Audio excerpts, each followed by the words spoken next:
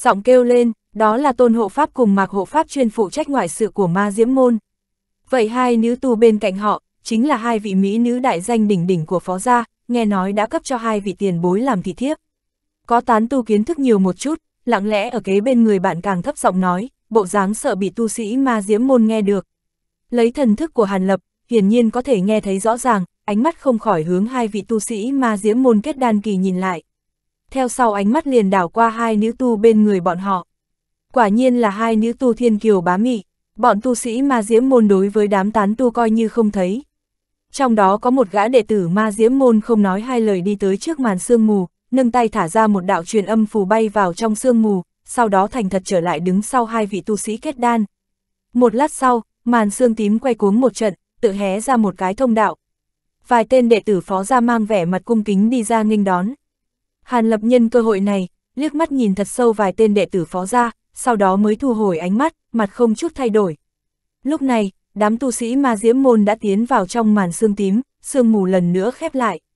Một hai canh giờ sau, lại có một ít gia tộc cùng một ít tiểu tông môn đến muộn, liên tiếp hai ba bận đến ngay chỗ sườn núi, đều được người phó gia tiếp vào. Sau một lát, rốt cục một gã quản sự trung niên vẻ mặt xin lỗi từ trong màn sương tím đi ra.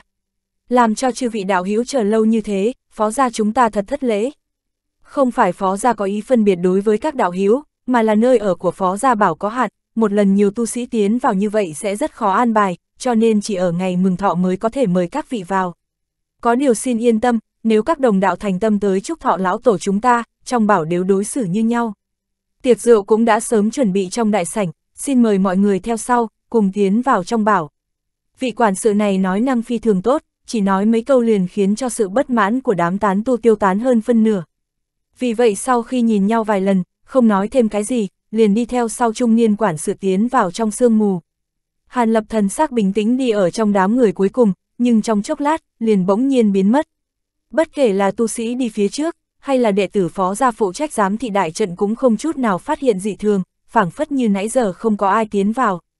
Vài tên tu sĩ phó gia trúc cơ kỳ đang đứng xung quanh trong một gian đại sảnh phú lệ, cười tủm tìm bắt chuyện cùng một đám tân khách mới đến, cần phải làm cho mỗi một người đều thật hài lòng, không có cảm giác vắng vẻ.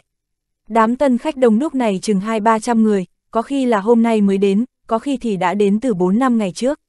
Hôm nay đã đến ngày mừng thọ của phó gia lão tổ, hiển nhiên những người này đều hội tụ một chỗ, chờ phó gia lão tổ xuất hiện. Lấy thanh thế của phó gia tại nguyên vũ quốc như mặt trời giữa trưa, đám người tiểu gia tộc cùng tán tu tự nhiên ca tụng không ngừng. Ngay cả sứ giả của một gia tộc hơi lớn một chút, vẻ mặt mỗi người cũng cười thân tình, bắt chuyện cùng tu sĩ phó gia. chương 650, Diệt tộc thượng, phó gia lão tổ giờ phút này cũng không có ở xung quanh đại sảnh, mà là ở tại một lầu các hẻo lánh trong bảo, trong tay có một khối ngọc giản khẽ sáng lên. Nếu là nhân vật chính của đại hội mừng thọ, hắn tự nhiên muốn tại lúc cuối cùng mới gặp tân khách. Mà thừa dịp thời gian rãnh rỗi này, làm người cầm quyền của phó gia, hắn còn muốn xử lý một chuyện khẩn cấp. Trong lầu các, trừ phó gia lão tổ, bên cạnh lại có một vị đại hán tướng mạo đường hoàng, da tay màu tím, tu vi kết đan sơ kỳ, bên hông căng phòng, có mấy cái bao da lớn nhỏ không đồng nhất. Hừ, nơi này cũng không phải từ Kim Quốc, ngự linh tông bọn họ lại muốn chúng ta xuất người ra lực, giúp bọn hắn hỏi thăm tin tức, bộ dáng như muốn tìm vật gì. Thật nghĩ muốn biến phó gia chúng ta thành bộ hạ, thật sự là buồn cười. Phó gia lão tổ đột nhiên vỗ bàn, sắc mặt âm trầm quát. Thất thúc không cần động nộ, trong ngọc giản cũng không nói rõ ràng là muốn tìm vật gì, vật có thể làm cho tu sĩ ngự linh tông khẩn trương, hẳn là không phải chuyện đùa. Đại hán tựa như có chút hứng thú nói, nhưng phiền ở chỗ, bọn họ cần chúng ta, nhưng về phương diện khác lại che giấu, căn bản không nói vật muốn tìm là vật gì. Chỉ là muốn chúng ta lưu ý, gần đây các nơi nguyên vũ quốc có chuyện quái dị phát sinh hay không, nếu có lập tức báo cho bọn họ. Ồ, nói như vậy, ngự linh tông dường như cũng không muốn cho ma diễm môn biết việc này, cho nên mới tìm tới phó gia chúng ta, hơn nữa lời nói lại mơ mơ hồ hồ tinh quang trong mắt đại hán chợt lóe, có chút đăm chiêu nói. Tiểu tam, lời ngươi nói rất đúng, phó gia ta vì để ngừa vạn nhất, ngoại trừ toàn lực lấy lòng ma diễm môn, còn len lén kết giao ngự linh tông. Bây giờ xem ra, mặc dù chúng ta đối với ngự linh tông nhiệt tình, nhưng ngự linh tông đối với phó gia chúng ta lại không quá tin tưởng. Xem ra, chúng ta hẳn nên điều chỉnh một ít sách lược, không biết đối với quỷ linh tông yếu nhất trong lục tông, có phải nên kết giao một chút hay không lão giả vuốt tròm dâu, trầm ngâm một chút nói. Việc này có thể, ha ha, không nghĩ tới phó gia ngoại trừ ôm cái đùi mập ma diễm môn, mà ngay cả ngự linh tông cũng cấu kết.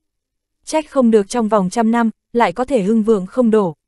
Ngay lúc đại hán vừa mở miệng muốn nói gì, ngoài cửa sổ đột nhiên truyền đến một âm thanh nam tử xa lạ, ẩn hàm một ý châm chọc. Người nào, vị cao nhân này quang lâm phó gia, phó thiên hóa không nghênh đón từ xa, mong thứ tội. Phó gia lão tổ cùng đại hán giật mình một chút, giống như bị dẫm phải cái đuôi mà nhảy từ trên ghế xuống, hai người hoảng sợ nhìn nhau liếc mắt một cái. Phó gia lão tổ kinh nghi lớn tiếng hỏi, hai người này cực kỳ khiếp sợ đối với người có thể tiếp cận họ mà không biết. Nghênh tiếp từ xa cũng vô dụng, hôm nay ta coi như là không mời mà đến.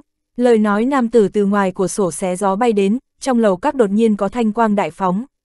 Phó gia lão tổ cùng đại hán thất kinh, thân hình vội vàng chợt lóe, đều tự thối lui đến một góc, trên người đều hiện lên một tầng bảo hộ trong suốt. Miệng phó gia lão tổ lại phun ra một cái phi kiếm màu trắng, không ngừng xoay quanh trước người, mà đại hán sắc mặt ngưng trọng nắm lấy túi linh thú bên hông, nhìn không chớp mắt. Lúc này quang hoa nội liếm, trong phòng liền có thêm một vị thanh bào tu sĩ tướng mạo bình thường, bộ dáng khoảng 25-26 tuổi. Chính là Hàn Lập đã len lén ẩn vào trong bảo. Giờ phút này Hàn Lập chắp hai tay sau lưng, liếc mắt nhìn vẻ mặt đầy cảnh giác của phó gia lão tổ cùng đại hán một chút, chậm rãi mở miệng nói. Mới vừa rồi thần thức ta đảo qua một chút, cả ba gã tu sĩ phó gia kết đan kỳ, trong đó thấy tu vi hai người các ngươi cao nhất. Nói như vậy các ngươi đúng là người cầm quyền phó gia. Hàn Lập nói xong lời này, thần sắc bình tĩnh cực kỳ, không có một tia khác thường, làm cho người ta nhìn không ra hỉ nộ. Hóa ra là Nguyên Anh kỳ tiền bối. Không biết tiền bối đại giá Quang Lâm, có việc gì cần phân phó cho phó gia. Hàn Lập cũng không có che giấu tu vi của mình, cho nên lão giả đồng dạng cảm ứng được tu vi Hàn Lập sâu không lường được, sắc mặt không khỏi đại biến, miễn cưỡng tươi cười nói, trong lòng rất bất an. Ngươi là phó gia lão tổ, hai mắt Hàn Lập híp lại, nhìn chằm chằm vào lão giả áo tím trong góc, thản nhiên hỏi. Không dám, trước mặt tiền bối, vãn bối sao dám xưng là lão tổ. Vãn bối phó thiên hóa, đích xác là đương kim gia chủ phó gia. Nghe được Hàn Lập không chút cảm tình hỏi, phó gia lão tổ ra vẻ cung kính trả lời, nhưng trong lòng rõ ràng rất bất an, cảm giác được vị tu sĩ Nguyên Anh này tựa hồ có ý bất thiện. Ừm, một khi ngươi là phó gia lão tổ, nghĩa là ta không có tìm lầm người. Nếu muốn đến phó gia đòi nợ, tự nhiên trước phải tìm các hạ Hàn Lập nhìn lão giả, mặt lộ ra một tia cổ quái nói. Đòi nợ, tiền bối nói giỡn, vãn bối hình như là lần đầu tiên nhìn thấy tiền bối, có phải tiền bối có chỗ nào hiểu lầm hay không? Phó gia lão tổ vừa nghe Hàn Lập nói lời ấy, thùm thụp một cái, trái tim nhất thời trầm xuống vực sâu. Đại hán bên cạnh nãy giờ không nói gì nghe vậy, mặt cũng tái nhợt không chút huyết sắc, bàn tay đang cầm túi linh thú không khỏi dùng sức vài lần. Một vị tu sĩ Nguyên Anh Kỳ luôn miệng muốn đòi nợ, nghe như thế nào cũng là một chuyện không ổn. Hiểu lầm, đương nhiên không, nguyên bổn nên cho các ngươi minh bạch một chút, đỡ phải khi chết lại biến thành oán quỷ. Nhưng các ngươi lại có nhiều động tác nhỏ như vậy, thật sự là không cho ta thời gian nói nhảm. Hai người các ngươi, liền đi trước một bước đi, tộc nhân còn lại của phó gia, ta sẽ đồng loạt tống bọn họ lên đường Hàn Lập lơ đãng liếc đại hán một cái, sau đó nhoẻn miệng cười nói. Cái gì, người muốn tiêu diệt cả nhà phó gia chúng ta? Phó gia lão tổ nghe đến đó, phảng phất cực kỳ nổi giận hét lớn. Nhưng trong tay lại xuất ra một phù lục màu vàng, hoàng quang chợt lóe, người liền từ vách tường bắn đi, bỗng nhiên biến mất không thấy, tựa như xuyên tường mà qua. Đúng là một thổ độn phù hiếm thấy. Muốn chạy, Ngươi có thể chạy đi đâu? Sau khi Hàn Lập cười lạnh một tiếng, chẳng qua cũng không có hành động gì đối với phó gia lão tổ, ngược lại ngón tay lại hướng một phương hướng khác bắn ra. Một đạo thanh quang ngay lập tức xuất hiện, đảo mắt liền biến mất, nhưng sau một khắc liền xuyên thủng ngực đại hán đang ở một góc khác trong phòng, vòng bảo hộ bên ngoài trong nháy mặt bị nghiền nát, không có chút tác dụng nào. Mà túi linh thú trên tay đại hán vừa mới phát ra linh quang màu đen, trong nháy mắt ngay lúc đại hán chết, một lần nữa lại ảm đạm. Bên trong mơ hồ truyền ra một trận hí giống nổi giận. Thi thể đại hán ngã xuống đất, nhưng Hàn Lập cũng không liếc mắt một cái. Đối với hắn mà nói, tiêu diệt một gã tu sĩ kết đan sơ kỳ, quả thực giống như trò đùa. Có điều, hắn lại có chút hứng thú đối với túi linh thú trong tay đối phương, vẫy tay thu túi linh thú lại. Lúc này Hàn Lập mới nhìn sang vách tường chỗ phó gia lão tổ biến mất, trên mặt lộ ra một tia cười lạnh. Tay áo vung lên, một bóng trắng từ đó nhảy ra, một con tiểu hồ xuất hiện trước mặt Hàn Lập. Ngươi tinh thông thổ độn thuật, vậy phó gia lão tổ nọ giao cho ngươi xử lý. Lấy tu vi của ngươi cùng kỹ năng huyễn thuật, đối phó một tu sĩ kết đan trung kỳ, hẳn là không cần tốn nhiều sức Hàn Lập lạnh nhạt phân phó Bạch Hồ. Cái này hiển nhiên, chủ nhân chờ một chút, ta sẽ trở về ngay. Ánh mắt tiểu hồ lộ ra một tia hãnh diện, sau đó hoàng quang chợt lóe, thân hình trong lầu các liền không thấy bóng dáng. Lúc này Hàn Lập mới vỗ túi linh thú bên hông, vô số tam sắc phế kim trùng từ trong túi tuôn ra, hóa thành đám mây ba màu thật lớn, không ngừng xoay quanh trên đỉnh đầu hắn. Đi, Hàn Lập thấy vậy, trong miệng hô một tiếng, lập tức tất cả phi trùng chia làm vô số luồng, trong nháy mắt ngưng kết thành hơn 10 tiểu kiếm ba màu, sau đó như ong vỡ tổ từ trong cửa sổ bay ra. Hàn Lập khoanh chân ngồi xuống trong lầu các, đại diễn quyết vận chuyển, thần thức trong nháy mắt bao phủ cả phó gia bảo lại bên trong. Tộc nhân phó gia phi thường dễ phân biệt, vô luận là phục sức hay là công pháp tu luyện đều giống nhau, dưới thần thức bao phủ của Hàn Lập, tất cả đều bại lộ không thể nghi ngờ. Đối với phạm nhân phó gia không có pháp lực linh căn, Hàn Lập cũng không chú ý tới. Dưới thần thức Hàn Lập dẫn dắt, phi kiếm ba màu nhất nhất đánh về phía đám tu sĩ phó gia. Nhất thời tiếng kêu thảm thiết, tiếng kinh hô chợt vang lên. Mùi máu tanh nồng đậm, trong chốc lát đã bao phủ toàn phó gia bảo. Mà về phương diện khác, phó gia lão tổ đang ở chỗ sâu trong lòng đất, đang thổ độn chạy trốn. Bây giờ ý định của hắn là mau chóng chạy xa nơi đây, về phần các đệ tử vãn bối trong bảo, hắn không định suy nghĩ, cũng không muốn suy nghĩ đến. Kết quả vì con cháu đại hán kia như thế nào, hắn mặc dù không có chính mắt nhìn thấy, nhưng có thể tưởng tượng được. Cho dù đại hán có được chấn tộc linh thú của phó gia, nhưng muốn trông cậy vào đó mà chạy khỏi một vị tu sĩ Nguyên Anh Kỳ, căn bản là si tâm vọng tưởng. Nếu có thể ngăn chặn tên tu sĩ Nguyên Anh kia một chút thời gian, phó gia lão tổ cũng cảm thấy mỹ mãn. Về phần người phó gia khác, hắn cho dù muốn cứu họ cũng là tâm có thừa mà lực không đủ. Nói như thế, hắn chỉ có thể trước lo cho chính mình. Chỉ cần vị phó gia lão tổ hắn không chết, phó gia cũng sẽ không tính là diệt phong. Dù sao ngoại trừ phó gia chủ bảo, tại nguyên vũ quốc cũng có mấy cơ nghiệp khác của phó gia, chỉ cần chạy trốn tới nơi này, phó gia trung quy liền có cơ hội đông sơn tái khỏi. Duy nhất làm cho hắn buồn bực chính là, phó gia như thế nào lại trêu chọc vào một tên sát tinh nguyên anh kỳ, không ngờ vừa mở miệng liền muốn tiêu diệt toàn tộc phó gia. Bộ dáng đối phương mặc dù vẫn hời hợt, nhưng khi hắn nhớ tới ánh mắt của đối phương, trong lòng liền phát lạnh. chương 651, Diệt tộc hạ, ngay lúc phó gia lão tổ mắt thấy đã độn ra phạm vi phó gia bảo, bên tai liền vang lên một âm thanh kiều mị mềm mại của nữ tử. Tốc độ thổ độn của các hạ thật sự quá chậm, không bằng tự giao đầu ra, để cho tiểu nữ có thể về phục mệnh chủ nhân, thế nào? Phó gia lão tổ nghe vậy trong lòng liền kinh hãi, thân hình không khỏi dao động một trận, trước mắt chợt lóe lên một bóng trắng, một nữ tử xinh đẹp diễm lệ không biết xuất hiện từ khi nào. Nữ tử này chỉ cách hắn vài thước, mặt cười duyên như hoa. Ngươi, phó gia lão tổ mới vừa kinh hãi phun ra một chữ, môi anh đào kia liền khẽ nhếch, một mảnh khói hương phấn hồng trong nháy mắt phun ra, bao phó gia lão tổ đang không kịp đề phòng lại. Phó gia lão tổ thầm kêu bất hảo, vội vàng làm phép định lui về sau, nhưng một hương vị ngọt ngào sộc vào miệng mũi, thân thể lập tức mềm nhũn ngã quỵ xuống, quang hoa hộ thể không chút nào tác dụng, tựa như chưa từng mở ra. Ngân Nguyệt xem con mồi đang hôn mê bất tỉnh trước người một chút, mặt ngọc khẽ cười, tay tùy ý vung lên, một đạo bạch quang hình bán nguyệt rời tay chém xuống. Huyết quang văng khắp nơi, trong đại sảnh phó gia bảo, mấy trăm tân khách đang cùng nhau nói chuyện vui vẻ, vài tên tự mình chúc mừng tu sĩ kết đan, còn có vài tên tu sĩ phó gia thân phận cao, bộ dáng vui vẻ hòa hợp. Đột nhiên vài tiếng kêu thảm thiết từ bên ngoài mơ hồ truyền đến. Tiếng nói chuyện ong ong trong phòng lập tức ngưng lại, đám tân khách hai mặt nhìn nhau, một số tu sĩ cơ trí, lúc này mang vẻ mặt cảnh giác nhìn lại đám tu sĩ phó gia. Chư vị không cần hoảng, có thể là một chuyện nhỏ. Chờ lão phu gọi người tới xem một chút là biết, một lão già lam bào ngồi bên cạnh hai hộ pháp ma diễm môn, sắc mặt cũng khẽ biến, nhưng ánh mắt sau đó chấn định lớn tiếng nói. Người này đúng là một vị đường đệ của phó gia lão tổ, cũng là tu sĩ kết đan kỳ thứ ba của phó gia. Hắn lúc này cáo lỗi một tiếng với hai gã hộ pháp ma diễm môn, liền xoay mặt phân phó một tiếng với hai gã đệ tử phó gia. Hai gã tu sĩ phó gia liền chạy nhanh ra ngoài, mà thần sắc hai gã tu sĩ ma diễm môn kết đan kỳ không thay đổi, nhưng vẫn hơi có một chút nghi ngờ liếc nhìn nhau. Hai tiếng kêu thảm thiết lần nữa vang lên, rõ ràng là hai gã tu sĩ phó gia vừa đi ra đại sảnh đã gặp độc thủ. Lúc này đây, tất cả tân khách trong phòng cũng nghe được rõ ràng, sắc mặt mỗi người đều đại biến. Sắc mặt lão già lam bào càng khó coi, hắn hít sâu một hơi, đột nhiên đứng dậy, trầm giọng nói. Mở cấm chế trong phòng ra, nhanh truyền tin cho lão tổ. Một gã tu sĩ phó gia phụ cận nghe vậy, sắc mặt trắng bệch vâng một tiếng, lấy truyền âm phù từ trong áo ra, thấp giọng nói vài câu gì đó, sau đó liền vung tay phóng ra. Phù lục hóa thành một đạo hồng quang trực tiếp từ nóc nhà bắn ra, nhưng một lát sau, tu sĩ phó gia nọ liền nuốt khô một chút nước miếng nói, không ổn, truyền âm phù đã bị đánh rơi, hình như chúng ta bị cái gì bao vây. Nghe nói như thế, không riêng lão già lam bào mà vài tân khách kết đan kỳ cũng không thể ngồi được nữa. Trong đó tu sĩ ma diễm môn mặt mày u ám, nhướng mày mở miệng nói. Phó đạo hữu xem ra quý bảo thật có địch nhân tiến vào, ta cùng tôn huynh theo phó đạo hữu ra xem một chút. Hai vị chịu ra tay tương trợ, tại hạ cảm kích vô cùng, vậy làm phiền hai vị đạo hữu trong lòng lão già Lam Bảo Chính đang lo lắng, vừa nghe tu sĩ mặt u ám nói vậy, lập tức mừng rỡ nói. Vị trung niên nhân tướng mạo bình thường khác của ma diễm môn lại nhường mày, dường như không cho hành vi của đồng bạn là đúng, nhưng lại không nói gì cũng đứng lên.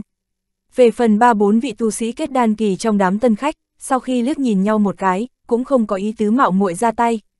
Thấy ba đại tu sĩ kết đan kỳ muốn đồng loạt ra xem việc gì, những tu sĩ khác trong phòng lập tức lạnh ngắt như tờ, yên lặng nhìn hành động của ba người.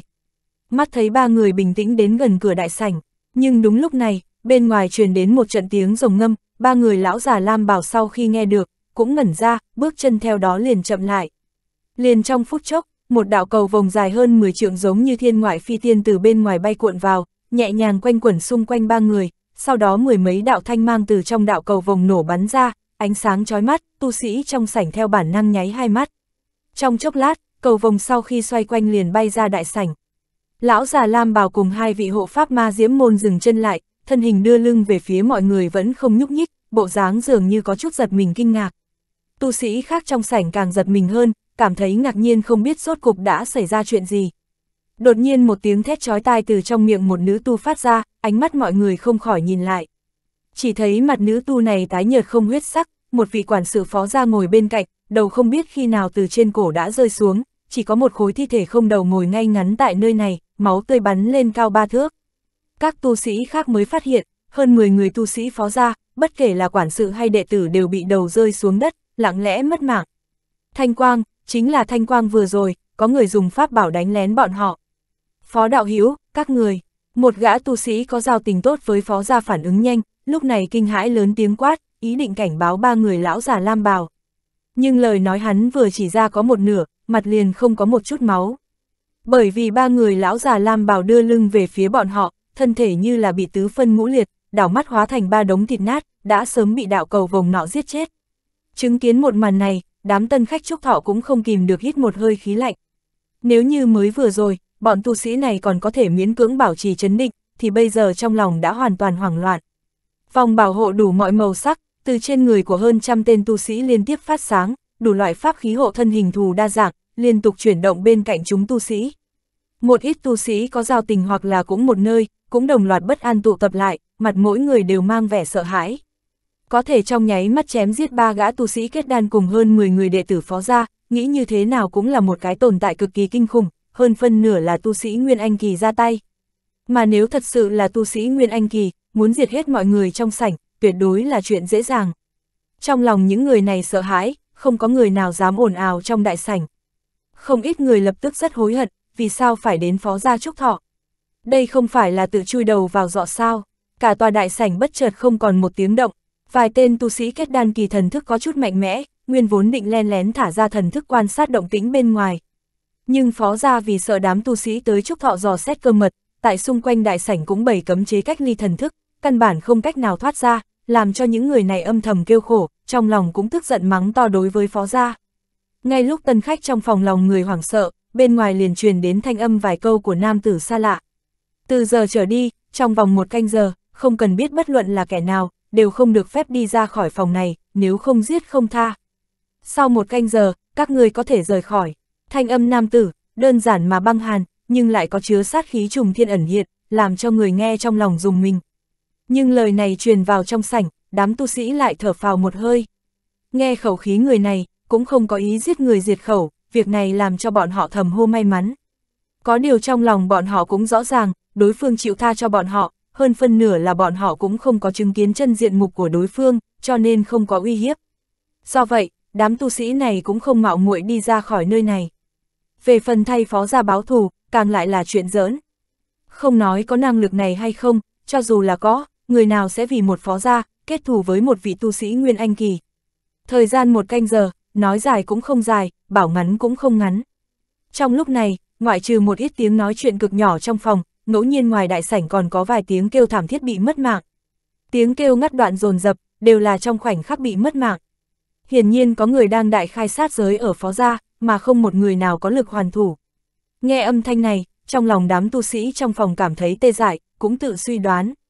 Rốt cục phó gia đắc tội với cao nhân hoặc là thế lực lớn nào, lại bị giết cả nhà. Trong đó có dạng người như thỏ chết cao khóc, nhìn có chút hả hê tại đây lại có không ít. Gần qua thời gian một chén trà, tiếng kêu thảm thiết trong phó gia bảo rốt cục cũng biến mất, bên ngoài trở nên an tĩnh như trong đại sảnh. Đám tu sĩ liếc mắt nhìn nhau một cái, không ai dám coi thường vọng động.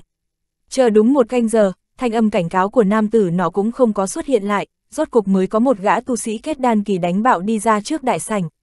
Kết quả bình yên vô sự, lần này, các tân khách khác cũng yên tâm từ bên trong mạnh dạn đi ra. chương 652, Cựu Nhân, bên ngoài phòng, Phó Gia Bảo sớm đã trống trơn, trừ trên mặt đất tàn lưu lại vài bãi máu, cũng không có một bóng người nào. Xem ra tu sĩ Phó Gia thật bị diệt sát không còn, ngay cả thi thể cũng hóa thành cho bụi. Nhưng vẫn có người ngự khí lên trời, nhìn xung quanh Phó Gia Bảo một hồi, liền phát hiện, phía xa có một ít phàm nhân Phó Gia cùng đệ tử cấp thấp vẫn bình yên vô sự. Đại biến trong bảo, bọn họ dường như hoàn toàn không biết gì cả, vẫn còn đang điều hành mọi chuyện. Xem ra người xuống tay không phải là khinh thường đối với những người này, mà là cảm thấy chỉ cần diệt sát trực hệ phó gia là đủ làm cho phó gia từ nay về sau biến mất. Mấy tu sĩ trải qua kinh biến như thế, tự nhiên không dám ở đây lâu. Đại bộ phận tán tu lập tức ngự khí rời xa chỗ này. Còn lại một bộ phận tu sĩ, thì sau khi thấp giọng thương lượng vài câu, cũng lập tức rời đi. Phó gia bị diệt, bất kể là đối với những người giao hảo hay là các thế lực lớn nhỏ mà nói, đều là không phải chuyện đùa. Việc này nếu truyền ra, khẳng định không thể tránh được một hồi dao động. Huống hồ lúc này hai vị hộ pháp ma diễm môn cũng bị hại tại chỗ này. Bất kể người làm cho phó gia bị diệt môn thật sự là tu sĩ Nguyên Anh Kỳ hay không, ma diễm môn như thế nào cũng phải có hành động. Việc bọn họ cần làm, chính là mau đem tin tức này mang về gia tộc hoặc tông môn, hy vọng trong hồi phong ba này có thể sẵn sàng chuẩn bị hoặc chiếm được tiên cơ, có thể ứng phó bất cứ tình huống gì. Nhưng ngay lúc mấy vị tu sĩ cuối cùng rời khỏi phó gia không lâu, đã có vài tên tu sĩ áo xanh lạ mặt, khoan thai tiến vào tử đạo sơn. Khi bọn họ chứng kiến không người nào chủ trì mở ra cấm chế phó gia bảo, liền ngạc nhiên một trận. Lúc này, đám đệ tử bên ngoài phát hiện kinh biến trong bảo, liền loạn thành một đoàn. Thấy một đám tu sĩ luyện khí kỳ phía dưới ầm ầm ý ý, mỗi người kinh hoàng thất thố. Những tân tu sĩ áo sánh đứng tại trên không không khỏi nhìn nhau. Chuyện phó gia, đệ nhất gia tộc Nguyên Vũ Quốc, bị tu sĩ thần bí trong một ngày diệt tộc chỉ trong ngắn ngủn vài ngày đã truyền khắp tu tiên giới Nguyên Vũ Quốc. Thế lực lớn nhỏ tại Nguyên Vũ Quốc lập tức tràn đầy xôn xao. Trong đó hai gã hộ pháp ma diễm môn đến Trúc Thọ cũng gặp nạn, khiến cho cao tầng ma diễm môn thẹn quá hóa giận, phái nhiều thủ hạ đi tìm hung thủ thần bí khắp nơi, hơn nữa công bố tổ sư ma diễm môn Nguyên Anh Kỳ muốn gặp vị cao nhân đã không đặt ma diễm môn trong mắt này. Chẳng qua người sáng suốt vừa nhìn đã biết, ma diễm môn đa phần là hư trương thanh thế, hơn phân nửa là cho qua. Dù sao dựa theo lời nói của tu sĩ lúc ấy, khi đó hai vị hộ pháp ma diễm môn rất gần với vị phó gia kia, lại không biết sống chết mạnh mẽ đi ra, liền đụng phải sự trả thù của tu sĩ Nguyên Anh Kỳ. Chỉ có thể tính hai người xui xẻo, phải biết rằng sau khi tu sĩ Nguyên Anh Kỳ diệt phó gia, liền lập tức vỗ mông rời đi, cho dù thế lực ma diễm môn có cường đại hơn nữa cũng biết tìm hung thủ ở đâu bây giờ. Huống hồ tu sĩ tu vi đến cảnh giới Nguyên Anh Kỳ, có thể dễ dàng đánh bại sao, còn muốn tiêu diệt hoặc vây khốn, lại muôn ngàn khó khăn. Phỏng chừng nếu không có ba bốn gã tu sĩ Nguyên Anh cung cấp, hoặc là sử dụng trận pháp cấm chế lợi hại, cũng đừng nghĩ đến việc này. Ma Diễm môn tự không có khả năng xuất động nhiều tu sĩ Nguyên Anh kỳ như vậy vì báo thù cho hộ pháp kết đan kỳ. Huống hồ chính là bọn hắn nguyện ý, lão quái vật Nguyên Anh kỳ này cũng không vì loại sự tình này mà dễ dàng ra tay. Nhưng ngay cả như vậy, cả tu tiên giới Nguyên Vũ Quốc cũng dẫn phát một hồi chấn động không nhỏ. Linh khoáng, phường thị ban đầu phó gia chiếm cứ, hiển nhiên lại bị các thế lực khác chia cắt một phen. Chẳng qua, cái đó không có quan hệ cùng Hàn Lập. Lúc này, hắn không như những người khác phỏng đoán là sớm rời khỏi Nguyên Vũ Quốc, ngược lại vài ngày sau đó liền xuất hiện tại một tòa tiểu sơn vô danh. Cả người hắn thanh quang lơ lửng trên trời cao, kinh ngạc nhìn sương mù quanh quẩn trên sườn núi, trên mặt lộ ra một vẻ hoài niệm. Hơn 100 năm, nơi này vẫn giống như trước, không có gì thay đổi. Có điều, nếu tồn tại cấm chế, chẳng lẽ nơi đây lại bị tu sĩ khác chiếm cứ sao? Trong miệng thì thảo tự nói vài câu, nhưng thần sắc Hàn Lập vẫn như thường. Ngày đó sử dụng tam sắc vệ kim trùng biến thành phi kiếm, sau khi tiêu diệt phó gia bảo, Hàn Lập liền mang theo thủ cấp phó gia lão tổ, trực tiếp bay tới nơi này, đây là ngọn tiểu sơn vô danh nơi Tân Như Âm năm xưa ẩn cư. Năm đó hắn cùng Tân Như Âm và Tề Vân Tiêu xem như cũng có một hồi kết giao, bây giờ thay hai người báo đại cừu, hắn liền mang thủ cấp phó gia lão tổ tới đây bái tế hai người, cuối cùng cấp cho họ một cái công đạo. Nhưng tuyệt đối không nghĩ tới, nơi ở cũ của tan như âm thoạt nhìn còn có tu sĩ khác chiếm cứ, điều này làm cho trong lòng Hàn Lập dâng lên một tia nghi hoặc. Sau khi suy nghĩ, thân hình Hàn Lập liền trầm xuống, trực tiếp bay xuống chỗ cấm chế trên sườn núi. Lấy tu vi cùng hiểu biết về trận pháp bây giờ của hắn, cấm chế này tự nhiên không cách nào có thể mảy may ngăn cản. Khi Hàn Lập đứng trước sương mù, thần sắc bình tĩnh, năm ngón tay bắn ra, vài đạo pháp quyết khác nhau bay ra, chợt lóe lên bay vào trong cấm chế. Theo sau sương mù quay cuồng một trận, hé ra một cái thông đạo không lớn. Hàn Lập lập tức hóa thành một đạo cầu vòng bay vào. Một lát sau sương mù biến mất, hiện tại Hàn Lập đứng trước một chút lâu có chút cổ xưa. Đúng là nơi ở lúc đầu của Tân Như Âm, nhìn những căn phòng lớn nhỏ có chút màu ố vàng, mặt Hàn Lập lộ ra một tia như là thăm lại trốn xưa, cảnh còn người mất. Đúng lúc này, một vị phụ nhân khoảng 40 tuổi từ trong một gian trúc trong phòng đi tới, khuôn mặt nhìn tú lệ, trên người có linh khí ba động yếu ớt, nhưng chỉ là tu sĩ cấp thấp luyện khí kỳ 3-4 tầng. Nhưng Hàn Lập vừa nhìn, bất giác nhướng mày, dùng nhàn phụ nhân này lại cho hắn cảm giác vài phần quen thuộc. Ngươi, ngươi là ai, như thế nào lại tiến vào nơi đây? Lúc trung niên phụ nhân ra khỏi phòng, vừa lúc thấy Hàn Lập đứng ở trước nhà, sắc mặt không khỏi đại biến kinh hô, sau đó luống cuống tay chân cho vào bên hông, lấy ra hai cái hỏa phù màu đỏ, ánh mắt nhìn Hàn Lập tràn đầy địch ý. Chẳng qua chuyện này rất bình thường, cho dù là ai, không có khả năng bị người khác xông tới nơi ở của mình mà không kinh hãi cảnh giác. Huống hồ lấy tu vi thấp kém như thế của phụ nhân, hiển nhiên không cách nào phân biệt tu vi chính thức của Hàn Lập, nhưng bất chấp như thế, phụ nhân này cũng cảm ứng được pháp lực đối phương sâu không lường được, trong lòng tự nhiên liền có ý kiêng kỵ. Ô, tiền bối chẳng lẽ họ Hàn, là Hàn Lập tiền bối. Đang lúc Hàn Lập sờ sờ cầm, định hỏi lai lịch phụ nhân thì người này đột nhiên nhìn hai mắt Hàn Lập đánh giá, sau đó liền vui mừng lẫn sợ hãi gọi ra tính danh Hàn Lập. Hàn Lập nghe vậy sửng sốt, trên mặt lộ ra một tia kinh ngạc. Nhưng sau khi trầm ngâm một chút, hắn đột nhiên nhớ tới cái gì liền hỏi. Ngươi cùng tiểu mai cô nương có quan hệ gì, nhìn tướng mạo ngươi có năm sáu phần tương tự. Hàn Lập nhìn phụ nhân, vẻ mặt ôn hòa, tiểu mai, ô, tiền bối nói chính là tổ mẫu sao, tổ mẫu đã mất từ hơn 10 năm trước, bây giờ chỗ ở của tiểu thư, tạm do một nhà vãn bối ở lại. Phụ nhân vừa nghe Hàn Lập gọi ra tục danh của tổ mẫu, càng biết mình không có nhìn lầm, lúc này liền cung kính hành đại lễ. Ngươi là hậu nhân của tiểu mai, thật không nghĩ ra, một cô bé năm đó không ngờ cũng trở thành tổ mẫu nghe phụ nhân nói như vậy, Hàn Lập liền không hoài nghi, chỉ cười khổ một tiếng. Có điều, sao ngươi lại nhận ra ta? Hàn Lập còn có điểm khó hiểu, năm đó trong tay tổ mẫu còn có một bức chân dung của tiền bối. Vãn bối từ nhỏ nhìn bước đồ này lớn lên, cho nên liếc mắt một cái liền nhận ra tiền bối phụ nhân trên mặt ửng đỏ, có chút ngượng ngùng nói. Ồ, bước chân dung, ta thật còn không biết việc này, có thể đưa cho Hàn mỗ nhìn một chút hay không? Hàn Lập nghe lời này, liền ngạc nhiên, nhưng lập tức tò mò hỏi. Cái này đương nhiên có thể, nhưng trước hết tiền bối hãy vào nhà đã, ta sẽ đem bức tranh ra phụ nhân một bên cung kính mời Hàn Lập. Hàn Lập do dự một chút, cũng không từ chối đi vào phòng ốp đối phương.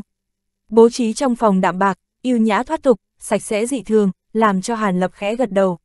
Sau khi ngồi vào chỗ của mình, phụ nhân vội vàng châm vào bình nước trà thơm. Mặc dù so ra kém linh trà của tân như âm năm xưa, nhưng mùi thơm thoáng lên mũi cũng có chút bất phàm. Thấy Hàn Lập nhấm nháp nước trà, phụ nhân liền cáo lui một tiếng, ra khỏi phòng đi lấy bức tranh. Thần thức Hàn Lập tùy ý đảo qua, nhất cử nhất động của phụ nhân liền nắm trong tay. Kết quả chỉ thấy người này trực tiếp đi đến phía lầu các không xa, lầu các này nhìn có vẻ khá hẻo lánh. Theo phụ nhân này tiến vào lầu các, liền thấy một tầng trống rỗng, cũng không có cái gì. Nhưng vừa đến lầu 2, Hàn Lập liền thấy một cái bàn làm bằng gỗ hoàng mộc. Trên bàn đặt song song hai cái bài vị cổ xưa, phân biệt là tục danh của Tề Vân Tiêu cùng Tân Như Âm. Hàn Lập vừa thấy vậy, trong lòng liền buồn bã, trong đầu hồi tưởng lại sắc mặt tươi cười của hai người năm đó, đáng tiếc hai người ra đi đã nhiều năm. Sau khi phụ nhân hướng bài vị cung kính thi lễ, mới từ trong hộp phía dưới bàn gỗ, lấy ra một cái ống dài cỡ một thước. Sau đó lại vội vã xuống lầu các, thẳng đến chỗ Hàn Lập. chương 653, Di ngôn và tặng vật. Hàn Lập nhẹ nhàng nhận lấy mở ra, một hình ảnh dài khoảng vài thước hiện ra trước mặt, một vị thanh sam nam tử trông rất sống động, đang mỉm cười nhìn, đúng là hình dáng của Hàn Lập. Nhìn bức tranh nữa ngày, Hàn Lập than nhẹ một tiếng, liền khép bức tranh lại. Sau khi trầm ngâm một chút, chăm chăm nhìn phụ nhân chậm rãi hỏi. Không biết Hàn mỗ có thể hỏi một chút, lệnh tổ mẫu vì sao phải lưu lại hình dáng tại hạ? Chẳng lẽ có thâm ý gì? Phụ nhân nghe lời này, trên mặt lộ ra vẻ trần trừ, sau khi suy ngẫm, liền cẩn thận trả lời. Hàn tiền bối, trước khi vãn bối trả lời vấn đề này, có thể hỏi chút hứa hẹn lúc đầu của tiền bối đối với tân tiểu thư có còn nhớ không? Đương nhiên nhớ kỹ, việc này ngươi cũng biết. Mặt Hàn Lập hiện lên vẻ kinh ngạc, có chút ngoài ý muốn. Thật ra một nhà vãn bối ở tại nơi này, hoàn toàn là tiểu phụ nhân dốc hết sức kiên trì, mà nguyên nhân trong đó cùng tiền bối có chút quan hệ. Chẳng qua, nếu tiền bối chưa thực hiện hứa hẹn đối với tân tiểu thư, xin thứ cho vãn bối không thể nói phụ nhân trộm nhìn Hàn Lập liếc mắt một cái, trong lòng bất an nói. Bịch một tiếng, một cái hộp gỗ hình vuông bị Hàn Lập bất động thanh sắc từ trong túi chữ vật lấy ra, trực tiếp ném tới trên bàn.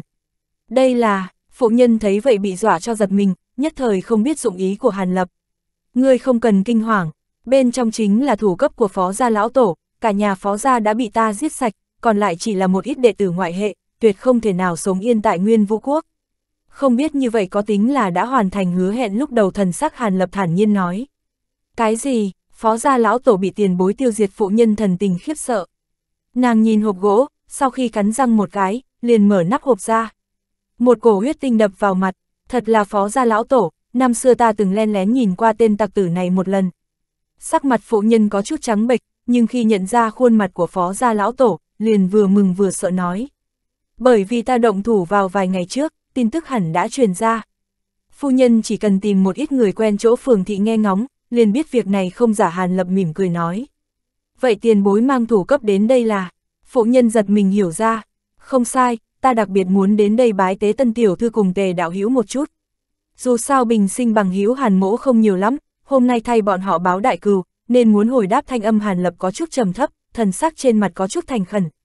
Tân tiểu thư cùng tề công tử dưới cứu tuyền, nhất định rất vui mừng. Tiền bối xin chờ một chút, ta đi một lát sẽ trở lại phụ nhân này thần sắc cũng buồn bã, nhưng sau đó lại nghĩ tới cái gì liền vội vàng nói. Hàn Lập có chút kỳ quái gật đầu, phụ nhân nọ liền vội và rời khỏi phòng. Lúc này phụ nhân đi tới một chỗ phía sau lầu các, đào xuống bên dưới một tàng cây, lấy ra một cái hộp ngọc xanh biếc. Sau đó cẩn thận ôm về phòng, đặt hộp ngọc trước mặt Hàn Lập. Cái này là, hai tròng mặt Hàn Lập híp lại, chuẩn bị nghe đối phương giải thích. Hàn tiền bối, kỳ thật năm đó trước khi tề tiểu thư bị bệnh mất đi, có lưu lại một di ngôn, nói muốn giao vật trong hộp này cho tiền bối, có điều trước đó tiền bối phải thực hiện hứa hẹn tiêu diệt phó gia mới được. Mà tổ mẫu năm đó là nha hoàn của tiểu thư, tự nhiên việc này liền giao lại cho tổ mẫu. Bởi vậy tổ mẫu vẫn lưu lại nơi đây, không có chuyển đi nơi khác. Nếu muốn gặp lại tiền bối, dĩ nhiên cũng chỉ có nơi này. Mà hơn 10 năm qua, tiền bối không quay về, tổ mẫu chỉ còn cách truyền việc này lại cho tiểu phụ nhân. Hơn nữa lưu lại bức họa vẽ hình dáng tiền bối, để ngừa không nhận biết được tiền bối. Hôm nay tiền bối đích thân tới đây, cũng đã thực hiện được hứa hẹn lúc đầu, vãn bối tự nhiên dựa theo di ngôn của tề tiểu thư, giao vật ấy cho tiền bối. Vãn bối cũng giải được một mối tâm sự phụ nhân bình tĩnh nói, trên mặt lộ ra vài phần nhẹ nhõm. Xem ra việc này đã gây ra một áp lực không nhỏ trong lòng. Hàn Lập có chút động dung, liếc mắt phật trên bàn một cái, sau đó thần thức liền đảo qua bên ngoài, trên mặt lộ ra một tia kinh ngạc, nhưng theo sau không suy nghĩ nắm hộp ngọc trong tay, bình tĩnh mở ra. Một khối ngọc giản màu xanh nhạt nằm trong hộp, bên trên có dán một phù lục màu vàng, phù văn cấm chế như có như không di động bên ngoài. Lúc này, phụ nhân đối diện cũng ngưng nhìn ngọc giản, vẻ mặt rất tò mò. Như thế nào, đạo hữu chưa bao giờ xem qua vật này Hàn Lập nâng tay hỏi. Không dối gạt tiền bối, bởi vì tân tiểu thư cũng không nhắn lại, người trông coi không thể xem xét vật này. Cho nên tổ mẫu tò mò, cũng liếc mắt xem qua nội dung bên trong ngọc giản, nhưng gần như ngay tức khắc, liền hộp máu ba lần ngay tại chỗ, sau đó hôn mê một ngày một đêm mới thức tỉnh. Sau đó tổ mẫu liền lập tức tìm đến một người chế phù cao cấp, phong ấn ngọc giản này, không cho phép hậu nhân xem xét. Vãn bối mặc dù trong lòng tò mò, nhưng tu vi chính mình còn thua xa tổ mẫu, nên càng không có dũng khí.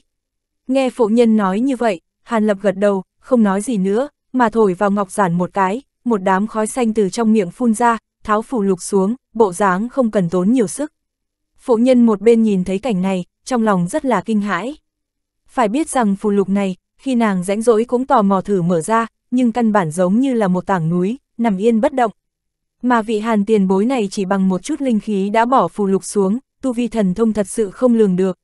Nghe nói tu vi vị tiền bối này năm đó là trúc cơ kỳ, bây giờ có thể diệt sát cả nhà phó gia, tu vi tối thiểu cũng là kết đan hậu kỳ mới được, thậm chí cũng có khả năng là tu sĩ nguyên anh kỳ.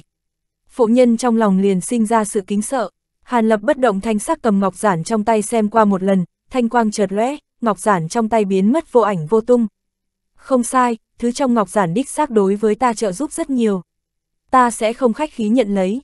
Có điều chỉ vì việc này, người phải chờ đợi nhiều năm như vậy, trong lòng tại hạ có chút áy náy, nơi này chỉ có một mình ngươi ở thôi sao? Hàn Lập Thu Ngọc Giản nhận được lại, ung dung hỏi. Đương nhiên không phải, phu quân của ta cũng là người tu tiên, nhưng tư chất không tốt lắm, cùng tu vi thiếp thân không sai biệt lắm. Còn có một khuyển tử nhỏ tuổi, tư chất linh căn cũng được, nhưng không có cao nhân chỉ điểm, càng vô duyên tiến vào tông phái tu tiên. Tiến bối có thể, phụ nhân vừa nghe Hàn Lập hỏi, trong lòng vừa động tim không khỏi đập mạnh. Hai vợ chồng nàng cũng không tính, nhưng nếu con mình có thể bái vị thần thông quảng đại trước mặt này làm môn hạ, chẳng phải là một bước lên trời. Vì vậy trong lời nói, có chút ấp a ấp úng. Lại càng không biết lời ấy có đắc tội cao nhân trước mặt hay không. Không cần nhiều lời, ta biết ý của phu nhân Hàn Lập chỉ nghe một chút, thần sắc thản nhiên liền dứt khoát chặn lại, không cho phụ nhân nói tiếp. Nhất thời trong lòng phụ nhân phát lạnh, nhưng thần sắc Hàn Lập lúc lại không thay đổi nói. Đạo hữu nếu là hậu nhân của Tiểu Mai, lại vì tại hạ bảo tồn vật này lâu như thế. Ta mặc dù sẽ không thu đồ đệ, nhưng sẽ cho hắn một cái cơ hội trúc cơ. Ta nơi này có một viên trúc cơ đan cùng hai bình đan dược đại bổ ích đối với luyện khí kỳ, có thể trúc cơ thành công hay không, vậy hãy xem tạo hóa của lệnh lang. Chỉ cần trúc cơ thành công, nói vậy tiến vào tu tiên đại phái hoặc đại gia tộc, hắn là có hy vọng rất lớn Hàn Lập vừa nói xong, móc từ trong áo ra ba cái bình nhỏ, giao cho phụ nhân. Trúc cơ đan, phụ nhân nghe lời này, trong lòng mừng rỡ, miệng liên tục tạ ơn, trong phút chốc nhìn đan dược, nỗi thất vọng vừa rồi liền không cánh mà bay. Đúng rồi, lần này khi diệt phó ra, ta thuận tay cũng giết chết hai vị tu sĩ ma diễm môn. Mặc dù không e ngại ma diễm môn, nhưng ta cũng không nghỉ muốn rước phiền toái, muốn hỏi ngươi một câu. Chuyện liên quan đến ta năm xưa, tôn phu cũng có biết hay không? Hàn Lập đang nói chợt chuyển, nhớ tới cái gì liền hỏi. Tiền bối xin yên tâm, tổ mẫu trước khi lâm trung có nói qua, việc này không thể nói cho người thứ hai, chính là sợ sẽ tạo thành phiền toái cho tiền bối. Thiếp thân vẫn cần thủ việc này, không có nói cái gì cho phu quân và khuyển tử. Phụ nhân dường như biết Hàn Lập lo lắng cái gì, vội vàng mở miệng giải thích. Ừm, tại hạ biết, vậy tại hạ trước hết đi bái tế hai người tân tiểu thư, sau đó sẽ cáo từ Hàn Lập gật đầu, hài lòng đứng dậy nói. Tiền bối muốn đi, không bằng xin chờ trong chốc lát, phu quân cùng khuyển tử của vãn bối không lâu sẽ. Phụ nhân đồng dạng đứng dậy, miệng vừa định nói lời giữ lại, nhưng phù một tiếng, bạch quang phía sau chợt lóe, nàng liền ngã quỵ bất tính. Hàn lập dường như sớm có phòng bị, ống tay áo vung lên, một thứ sáng mở từ trong tay áo phóng ra, vừa lúc đỡ lấy phụ nhân. Lúc này, bạch quang chớp động lóe lên sau lưng phụ nhân, ngân nguyệt hóa thân thành tiểu hồ bỗng nhiên xuất hiện. Hai con mắt đen thui quay tròn, lộ ra một ánh mắt cười hì hì. Chủ nhân, vì sao muốn ta ra tay làm bất tỉnh người này, chẳng lẽ nàng có cái gì không ổn hay là chủ nhân coi trọng phụ nhân này? Ngân Nguyệt như cười mà không cười nói, chương 654, huyền mẫu hóa anh đại pháp. Hừ, nói bậy bạ gì đó, nữ tử này không có gì không ổn, đối với ta xem như cũng có chút quan hệ. Hôm nay đã gặp mặt, ta muốn xóa đi một ít trí nhớ. Nếu không trong lúc vô ý lộ ra phong phanh, chẳng những ta gặp phiền toái, mà chính cô ta cũng sẽ gặp họa sát thân Hàn Lập hừ lạnh một tiếng, không tức giận nói. Sau đó liền không nói tiếp, thanh khí trên mặt chợt lóe, năm ngón tay mở ra đặt trên đầu phụ nhân, bắt đầu thi triển một loại bí công dẫn mộng thuật huyền âm kinh, phong ấn một ít trí nhớ liên quan lại, làm cho trí nhớ nữ tử này chuyển thành hôm nay gặp một vị cao nhân hào phóng, ban cho một ít trúc cơ đan cùng đan dược. Những trí nhớ liên quan đến Hàn Lập đều bị phong ấn. Bí thuật cải biến thần thức người khác này, hiển nhiên không phải là khống thần thuật hay là vong trần đan có thể so sánh. Trừ khi tu vi hơn xa Hàn Lập, tự mình làm phép giải thuật, nếu không căn bản là vô pháp hóa giải. Tuy nhiên pháp thuật này chỉ có thể dưới tình huống tu vi hai người cách biệt quá lớn, nếu không thần thức người chịu thuật sẽ bị hao tổn. Hàn Lập cũng là vì thấy tu vi phụ nhân rất thấp, mới yên tâm thi triển thuật này. Sau một khắc, Hàn Lập đã thi triển xong, phụ nhân vẫn mê man bất tỉnh. Đặt phụ nhân hoàn hảo trên ghế, Hàn Lập liền nhân cơ hội này, lên chỗ lầu các nơi có linh vị tân như âm và tề vân tiêu bái tế một phen, hóa thủ cấp phó ra lão tổ thành cho bụi, sau đó mới lặng lẽ rời đi. Tựa hồ chủ nhân rất coi trọng vật này ngân nguyệt một lần nữa hóa thành hồn khí, tại trong đầu Hàn Lập tò mò hỏi. Là một điển tịch trận pháp thời kỳ hồng hoang, bên trong có vài loại thượng cổ đại trận thâm ảo. Lấy tài nghệ trận pháp của ta bây giờ, trong khoảng thời gian ngắn cũng không cách nào lĩnh ngộ. Nhưng ngoại trừ trận pháp, cũng có ghi lại một loại bí công phi thường kỳ lạ, ta thấy rất có hứng thú Hàn Lập đang bay trên trời, chậm rãi nói. Bí công, lấy kiến thức cùng huyền âm kinh của chủ nhân bây giờ, còn có thể có bí công gì cũng làm cho chủ nhân thấy hứng thú Ngân Nguyệt yêu kiều cười, nhưng trong lời nói có ba phần tò mò. Thần thông rất nổi danh nhất khí hóa tam thanh ngươi đã từng nghe qua. Hàn Lập mỉm cười, không vội vàng nói. Cái gì, chẳng lẽ thứ bên trong ghi lại là đạo môn đệ nhất huyền công? Ngân Nguyệt cười khẽ, thanh âm có chút run rẩy và hưng phấn. Đương nhiên không phải Hàn Lập một mực phủ nhận, nói. Vậy tại sao chủ nhân đề cập thần thông này? Chẳng lẽ cố ý trêu chọc Ngân Nguyệt? Ta nói bí thuật nghịch thiên như thế này, đạo môn như thế nào dễ dàng ngoại lưu? Chẳng lẽ đạo môn không biết được? Ngân Nguyệt thất vọng nói.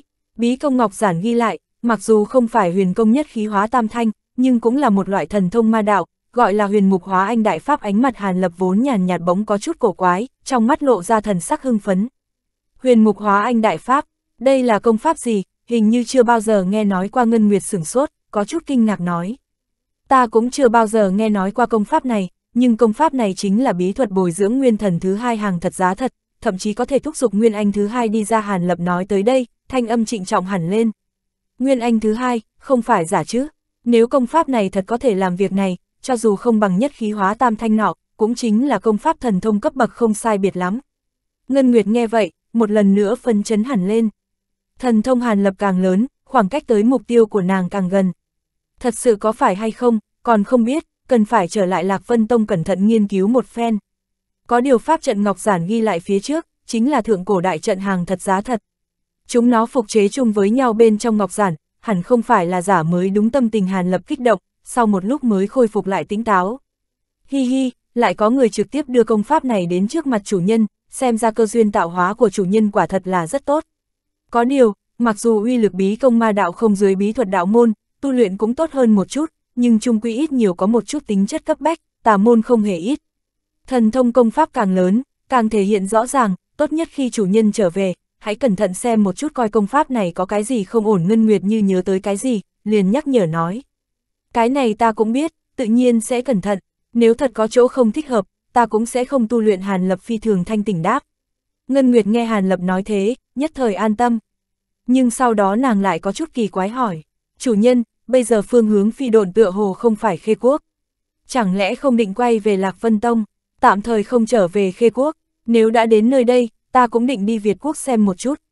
Dù sao năm đó ta xuất thân tại nơi này, có một cái trần duyên thế tục cần làm, nếu không trong lòng sẽ luôn cảm thấy vướng mắc. Không có lợi cho việc tinh tiến tu vi của ta sau này Hàn Lập thở dài một hơi, thản nhiên nói.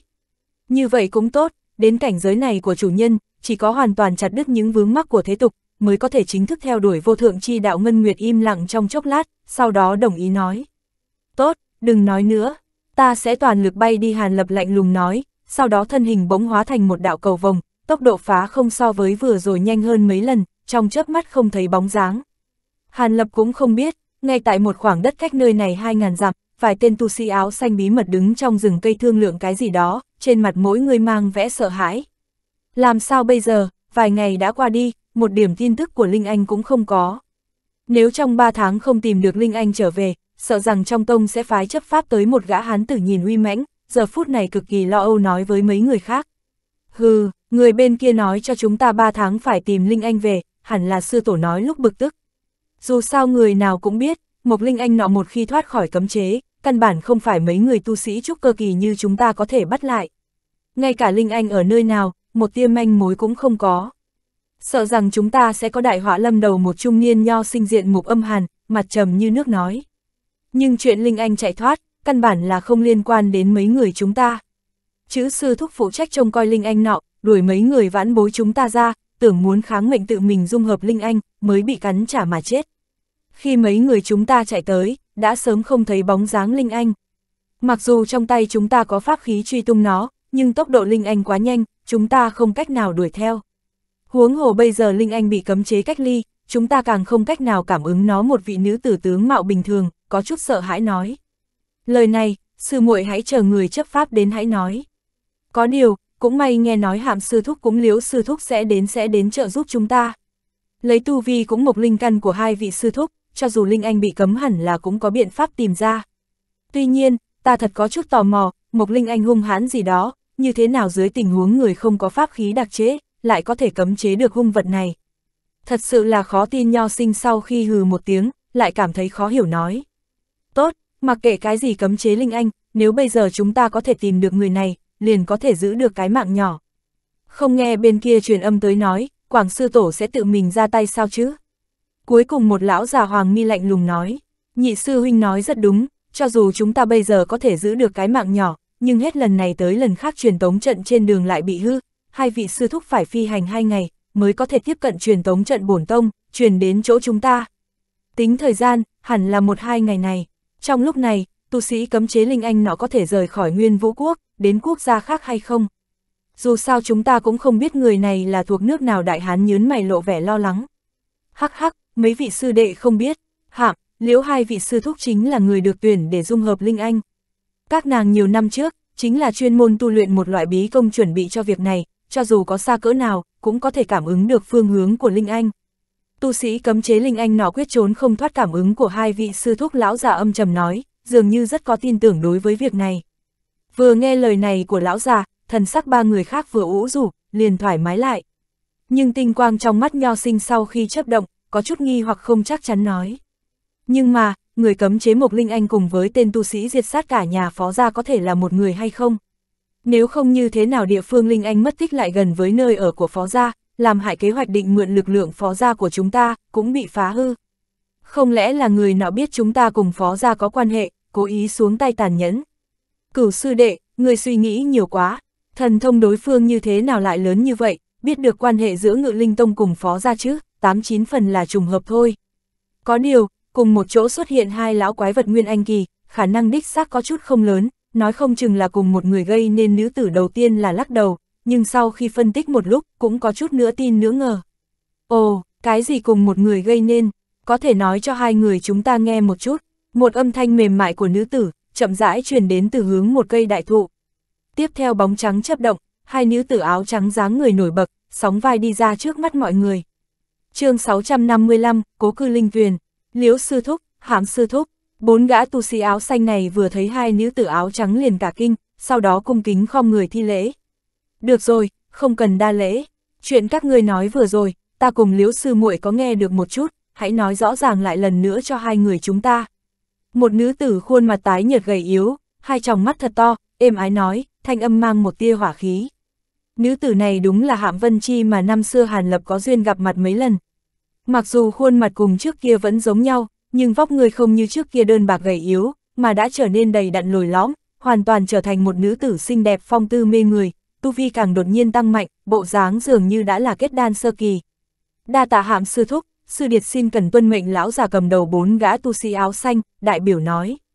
Hạm Vân Chi mỉm cười gật đầu, tiến lên vài bước, tùy ý tìm một chỗ sạch sẽ khoanh chân ngồi xuống. Tội các người thật không nhẹ, nếu thật không tìm được Linh Anh trở về, chỉ sợ sư phụ của các người cũng không cầu tình được cho các người. Một vị nữ tử khác, mày phượng, bộ dáng tươi trẻ, xinh đẹp khẽ cười nói. Nàng chính là nữ tử nói chuyện làm bừng tỉnh mấy tên đệ tử ngự linh tông lúc đầu. Sư Điệt cũng biết tội lần này khó thoát, có điều lúc này mấy người chúng ta thật là có chút oan uổng. Mong rằng hai vị sư thúc có thể nói tốt vài câu với sư tổ lão già cười khổ một tiếng, sau đó mang vẻ cầu khẩn nói. Ồ, vậy là hai chuyện, hãy cùng nói ra xem, người cấm chế linh anh nó bây giờ xa ngoài ngàn dặm, chúng ta nhất thời nửa khắc cũng không cách nào đuổi theo đối phương, vậy cũng không cần nóng lòng nàng kia duỗi thân thể mê người, đôi môi đỏ mọng lóe sáng nói. Vâng, khi chữ sư thúc cùng mấy người chúng ta dẫn theo Mộc Linh Anh đi qua côn Mộc Sơn, lúc ấy chữ sư thúc lấy cớ. Lão giả cung kính kể lại rõ ràng chi tiết chuyện Mộc Linh Anh chạy thoát, Linh Anh bị cấm chế cùng chuyện cả nhà phó gia bị diệt.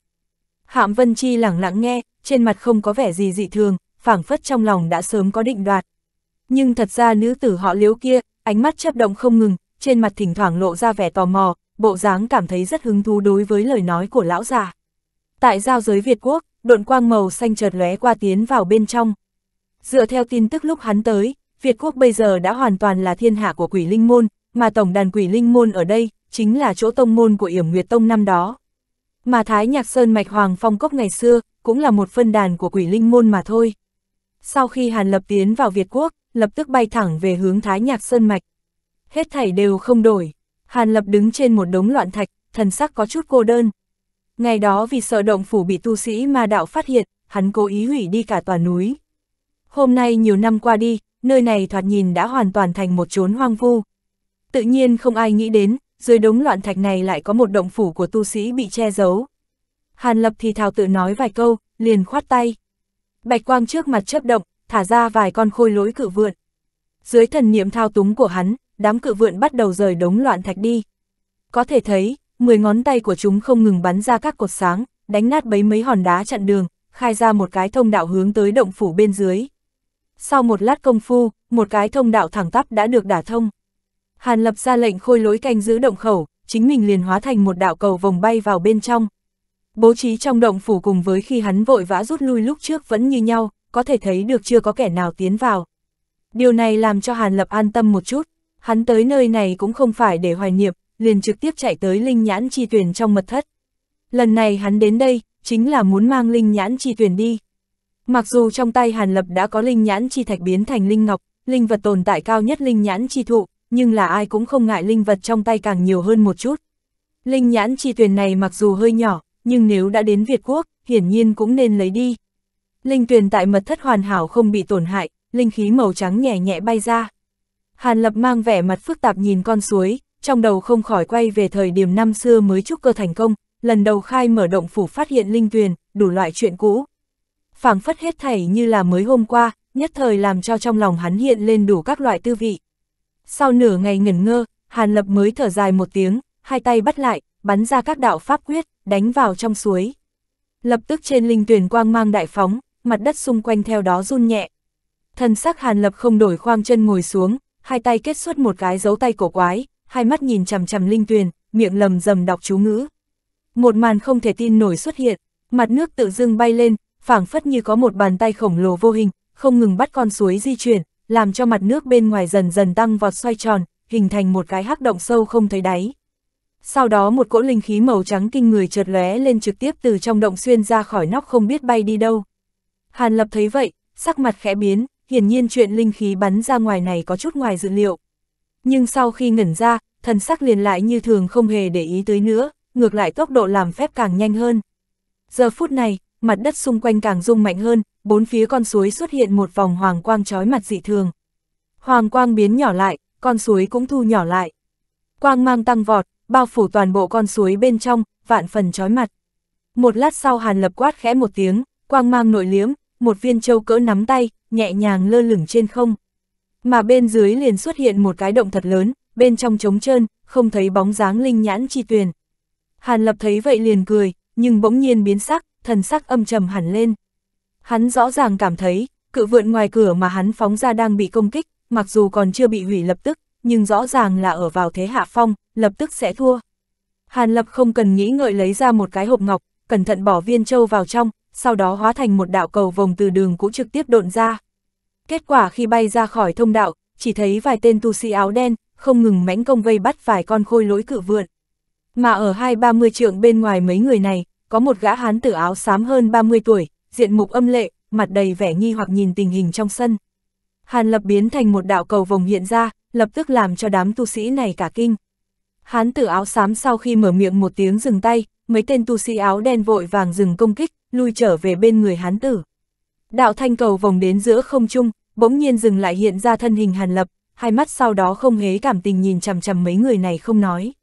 Nhưng khí thế trên người thả ra, không thể nghi ngờ là hiển lộ tu vi nguyên anh kỳ. Tiền bối đừng hiểu lầm, vãn bối không có ác ý, chỉ là vô tình cùng vài tên đệ tử môn hạ, phát hiện linh khí nơi đây dị thường, cho nên mới tỏ mò tới xem. Tại hạ là quỷ linh môn vu hồng, gia sư là quỷ linh môn toái hồn chân nhân, tuyệt không có ý tứ đối địch cùng tiền bối. Ánh mắt hán tử đảo qua hàn lập, trong lòng liền đánh thục một cái, mặt lập tức lộ vẻ hoảng sợ cười bồi nói. Toái hồn chân nhân, hàn lập nhướng mày, cảm giác có chút quen tai, sau một lúc suy nghĩ, liền nhớ ra. Đây không phải là lão quái quỷ linh môn nguyên anh kỳ sao? Hình như người này lòng dạ độc ác, bộ dáng rất không dễ chọc. Lão giả Bạch Phát Lạc Vân Tông có đề cập qua người này một câu, làm cho hắn chú ý một chút. Đang khi Hàn Lập tự đánh giá, hắn tự áo xám nhìn ra bộ dáng Hàn Lập khi nghe thấy tên này, trong lòng an tâm không ít, nhưng vẫn có chút lo lắng cười nói. Tiền bối cũng nhận thức gia sư, chẳng lẽ là người quen cũ của người. Tiểu bối thật đáng chết, thật không biết tiền bối làm việc tại nơi này, nếu không đã không dám làm phiền nhã hứng của tiến bối. Có chuyện gì muốn vãn bối làm, tiền bối cứ việc phân phó. Nếu không vãn bối cũng xin cáo lui, tiền bối xin cứ tự nhiên. Hán tự áo xám mặc dù diện mục dọa người, nhưng cực kỳ khéo đưa đẩy, sau khi thử nói ra mấy câu thăm dò, bộ dáng một bộ cung kính. dù sao đối mặt một vị tu sĩ Nguyên Anh kỳ lai lịch không rõ ràng, thật sự làm cho hắn đổ mồ hôi lạnh. Hàn lập mặt không chút thay đổi nhìn chằm chằm hán tử áo xám, không có ý tứ trả lời đối phương, nhưng thần thức lại phóng ra khắp nơi, trong phương viên 10 dặm cũng không có khí thức của tu sĩ khác. Xem ra đám người này thật sự là trong lúc vô ý phát hiện động tĩnh nơi đây, tự mình đến xem. Nói như vậy, sát khí trong lòng Hàn Lập bỗng nhiên khởi lên, vô luận ban đầu thân là tu sĩ Hoàng Phong Cốc, hay là thân phận trưởng lão Lạc Vân Tông bây giờ, đối với tu sĩ quỷ linh môn, dường như đều không có lý do để thả đi. Lúc đầu vị thiếu chủ quỷ linh môn kia, lại càng thiếu chút nữa lấy mạng nhỏ của hắn, làm cho trong lòng hắn vẫn nghẹn một nỗi tức giận. Huống hồ chuyện lén vào Việt quốc này, không hy vọng lão quái quỷ linh môn biết được có tu sĩ Nguyên Anh kỳ lạ mà tới Việt quốc từ miệng mấy người này. Nếu bị lão quái này để ý, chính là rất phiền toái. Hắn cũng không nghĩ bị mấy tên tu sĩ Nguyên Anh kỳ cùng cấp một đường đuổi giết ra khỏi Việt quốc. Ô, người này là, ngay lúc Hàn Lập chuẩn bị ra tay không một tiếng động, một lão già trong đám tu sĩ áo đen nọ đột nhiên nhìn Hàn Lập nhẹ ô một tiếng, vẻ mặt kinh ngạc. chương 656, Toái hồn môn nhân, thế nào, người biết ta? Hàn quang trong mắt của Hàn Lập chấp lên, nhìn lão giả áo đen nhàn nhạt hỏi. Không phải, tại hạ nhận lầm người, vãn bối làm sao mà biết được tiền bối chứ? Lão giả áo đen bị hàn quang trong mắt của Hàn Lập làm cho kinh sợ, nhưng liền lên tiếng lắp bắp phủ nhận. Nhận lầm người, Hàn Lập thấy trả lời nước đôi, giờ cầm mình rồi chuyển ánh mắt từ lão già sang nhìn những người khác dường như là đã tin lời nói của lão già đó. Hán tử áo xám có chút buồn bực liếc lão già một cái. Tuy nhiên, trong lòng hắn cũng thực sự kinh ngạc bởi mọi người đang gặp hiểm cảnh cũng không quan tâm đến việc của hắn, với lại nghe giọng điệu của Hàn Lập dễ nghe một chút hắn định nhân cơ hội này mà chuồn đi. Hàn Lập không chờ hắn mở miệng nói thêm mà tiếp tục chậm rãi nói. Một khi các người là tu sĩ của quỷ linh môn mà lại gặp phải hàn mỗ thì coi như là xui xẻo đi. Ta phải lấy đi tính mạng của các ngươi. Khi nói xong lời này thần sắc của Hàn Lập có chút âm trầm, tay áo vung lên từ trong đó bay ra hơn 10 thanh kiếm quang. Mấy kiếm quang này vừa ra khỏi tay áo liền biến thành 3-40 đạo kiếm quang số lượng đông đảo thật làm cho người ta khiếp sợ không thôi, rồi tất cả đều phóng tới tới mấy người bên đối phương. Tu sĩ áo xám nghe được âm thanh lạnh lẽo của Hàn Lập liền biết chuyện không ổn, vừa thấy Hàn Lập ra tay kinh khủng như thế sắc mặt tái xanh không còn chút máu.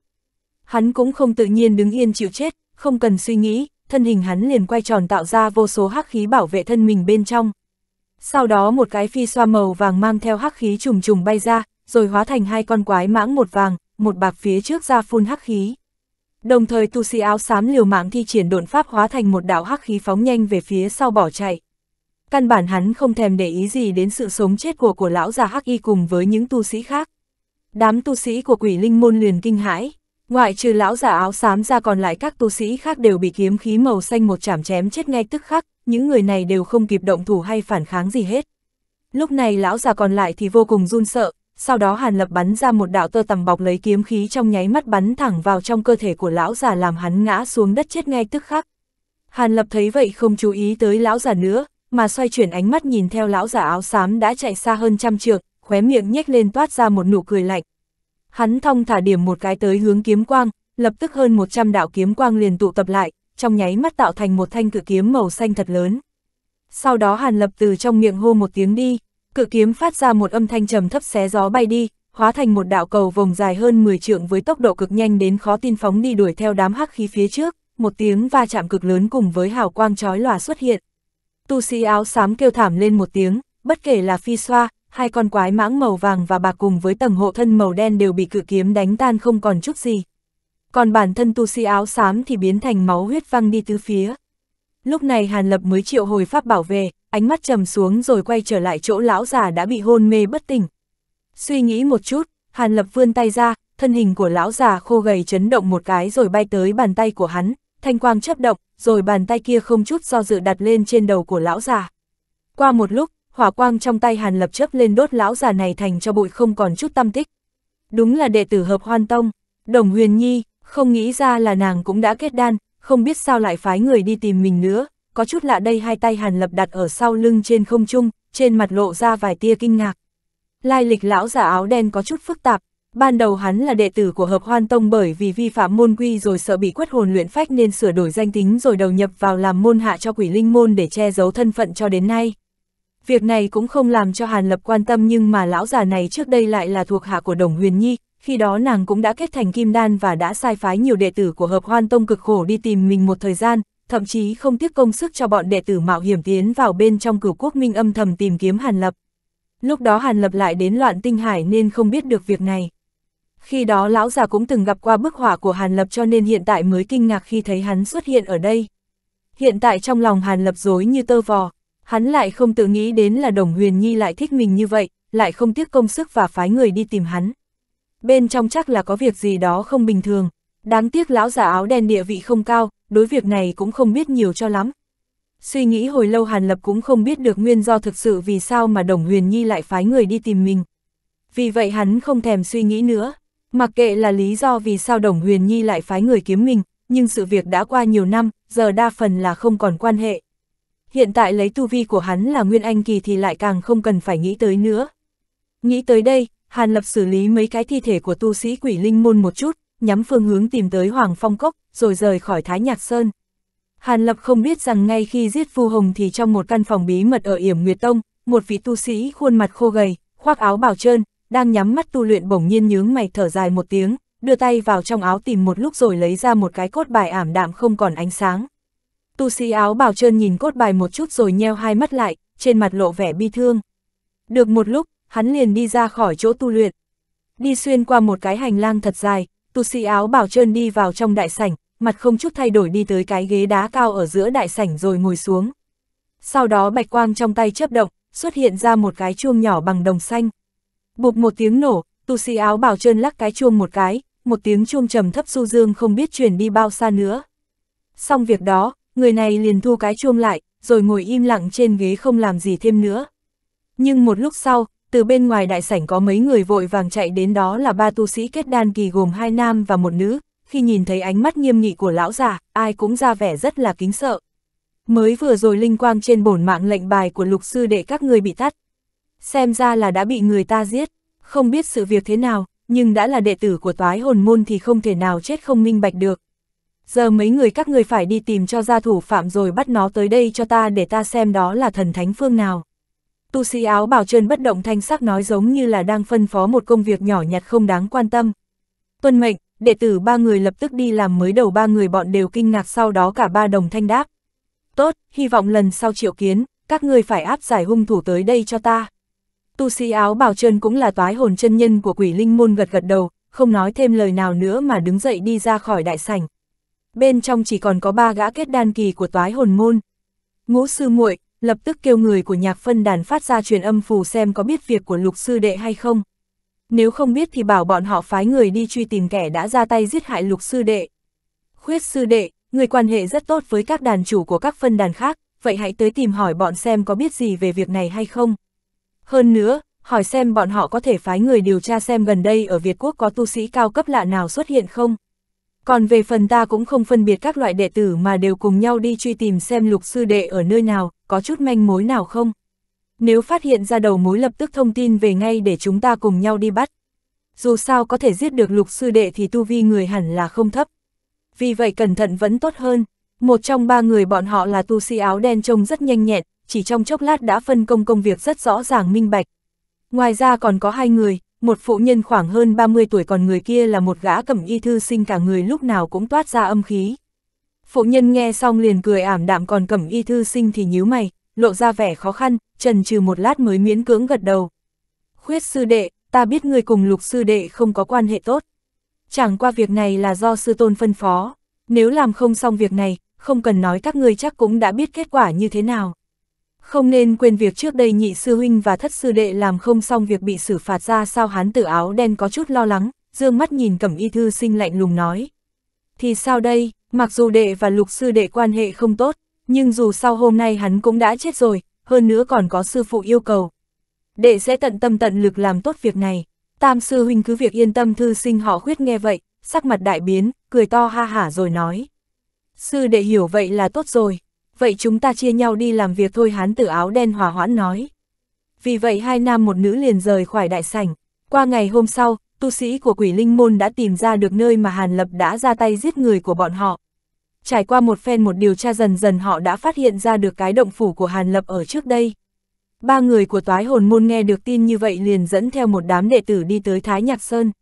Ngay khi ba người bọn họ đi tới bên trong động phủ của Hàn Lập thì thấy một cái hố to tướng do linh nhãn chi tuyển gây ra. Ba người bọn họ chỉ biết im lặng nhìn nhau. Cùng lúc này, ở một chỗ rất xa, Hạm Vân Chi cùng với nữ tử họ liễu dẫn theo vài tên đệ tử của ngữ Linh Tông xuất hiện ở phía trên một đám rừng núi rậm rạp, trùng điệp đang chuẩn bị tiến vào bên trong Việt Quốc. chương 657, Trấn nhỏ ngày xưa, Kính Châu là một vùng hẻo lánh nằm ở phía tây bắc của Việt Quốc. Bởi là chỗ hẻo lánh nên thành thị lớn rất ít, nhưng các loại như hương trấn nhỏ thì nằm rãi rác ra. Bên trong biên giới thì đồi núi chập trùng, hoang vắng rất ít người ở. Do vậy đạo tặc thổ phỉ ở đây có rất nhiều so với những nơi khác. Các nhân vật võ lâm giang hồ không ít nhưng cũng không ai có thể đứng lên để làm bá chủ thống nhất vùng này. Nhưng mà nơi đây cũng tạo thành những tiêu cục lớn và mạnh so với thổ phỉ ở vùng Kinh Châu này cũng không thua suốt mấy. Vào một ngày, ở bên đường của vùng hoang dã của Kính Châu có một cảnh như sau. Ước chừng khoảng hơn 100 nam tử cường tráng mặc quần áo bằng vải thô, mỗi người đều quấn một cái khăn đen trên đầu, cầm đủ loại binh khí đang vây công một nhóm người áo xanh hơn 30 người mà đám người áo xanh đó đang bảo vệ một đoàn xe ngựa. Thì đây đúng là một cuộc chiến gian nan và đẫm máu giữa thổ phỉ và tiêu cục bảo vệ hàng hóa. Phía sau đám thổ phỉ này còn có ba gã hắc y nhân, lạnh lùng đứng nhìn, trên mặt thoảng ra vẻ rất là ác độc. Còn bên cạnh các loại xe ngựa là những tên gia đình cường tráng đang cầm các loại côn bổng đứng thủ thế, sắc mặt có chút lo sợ.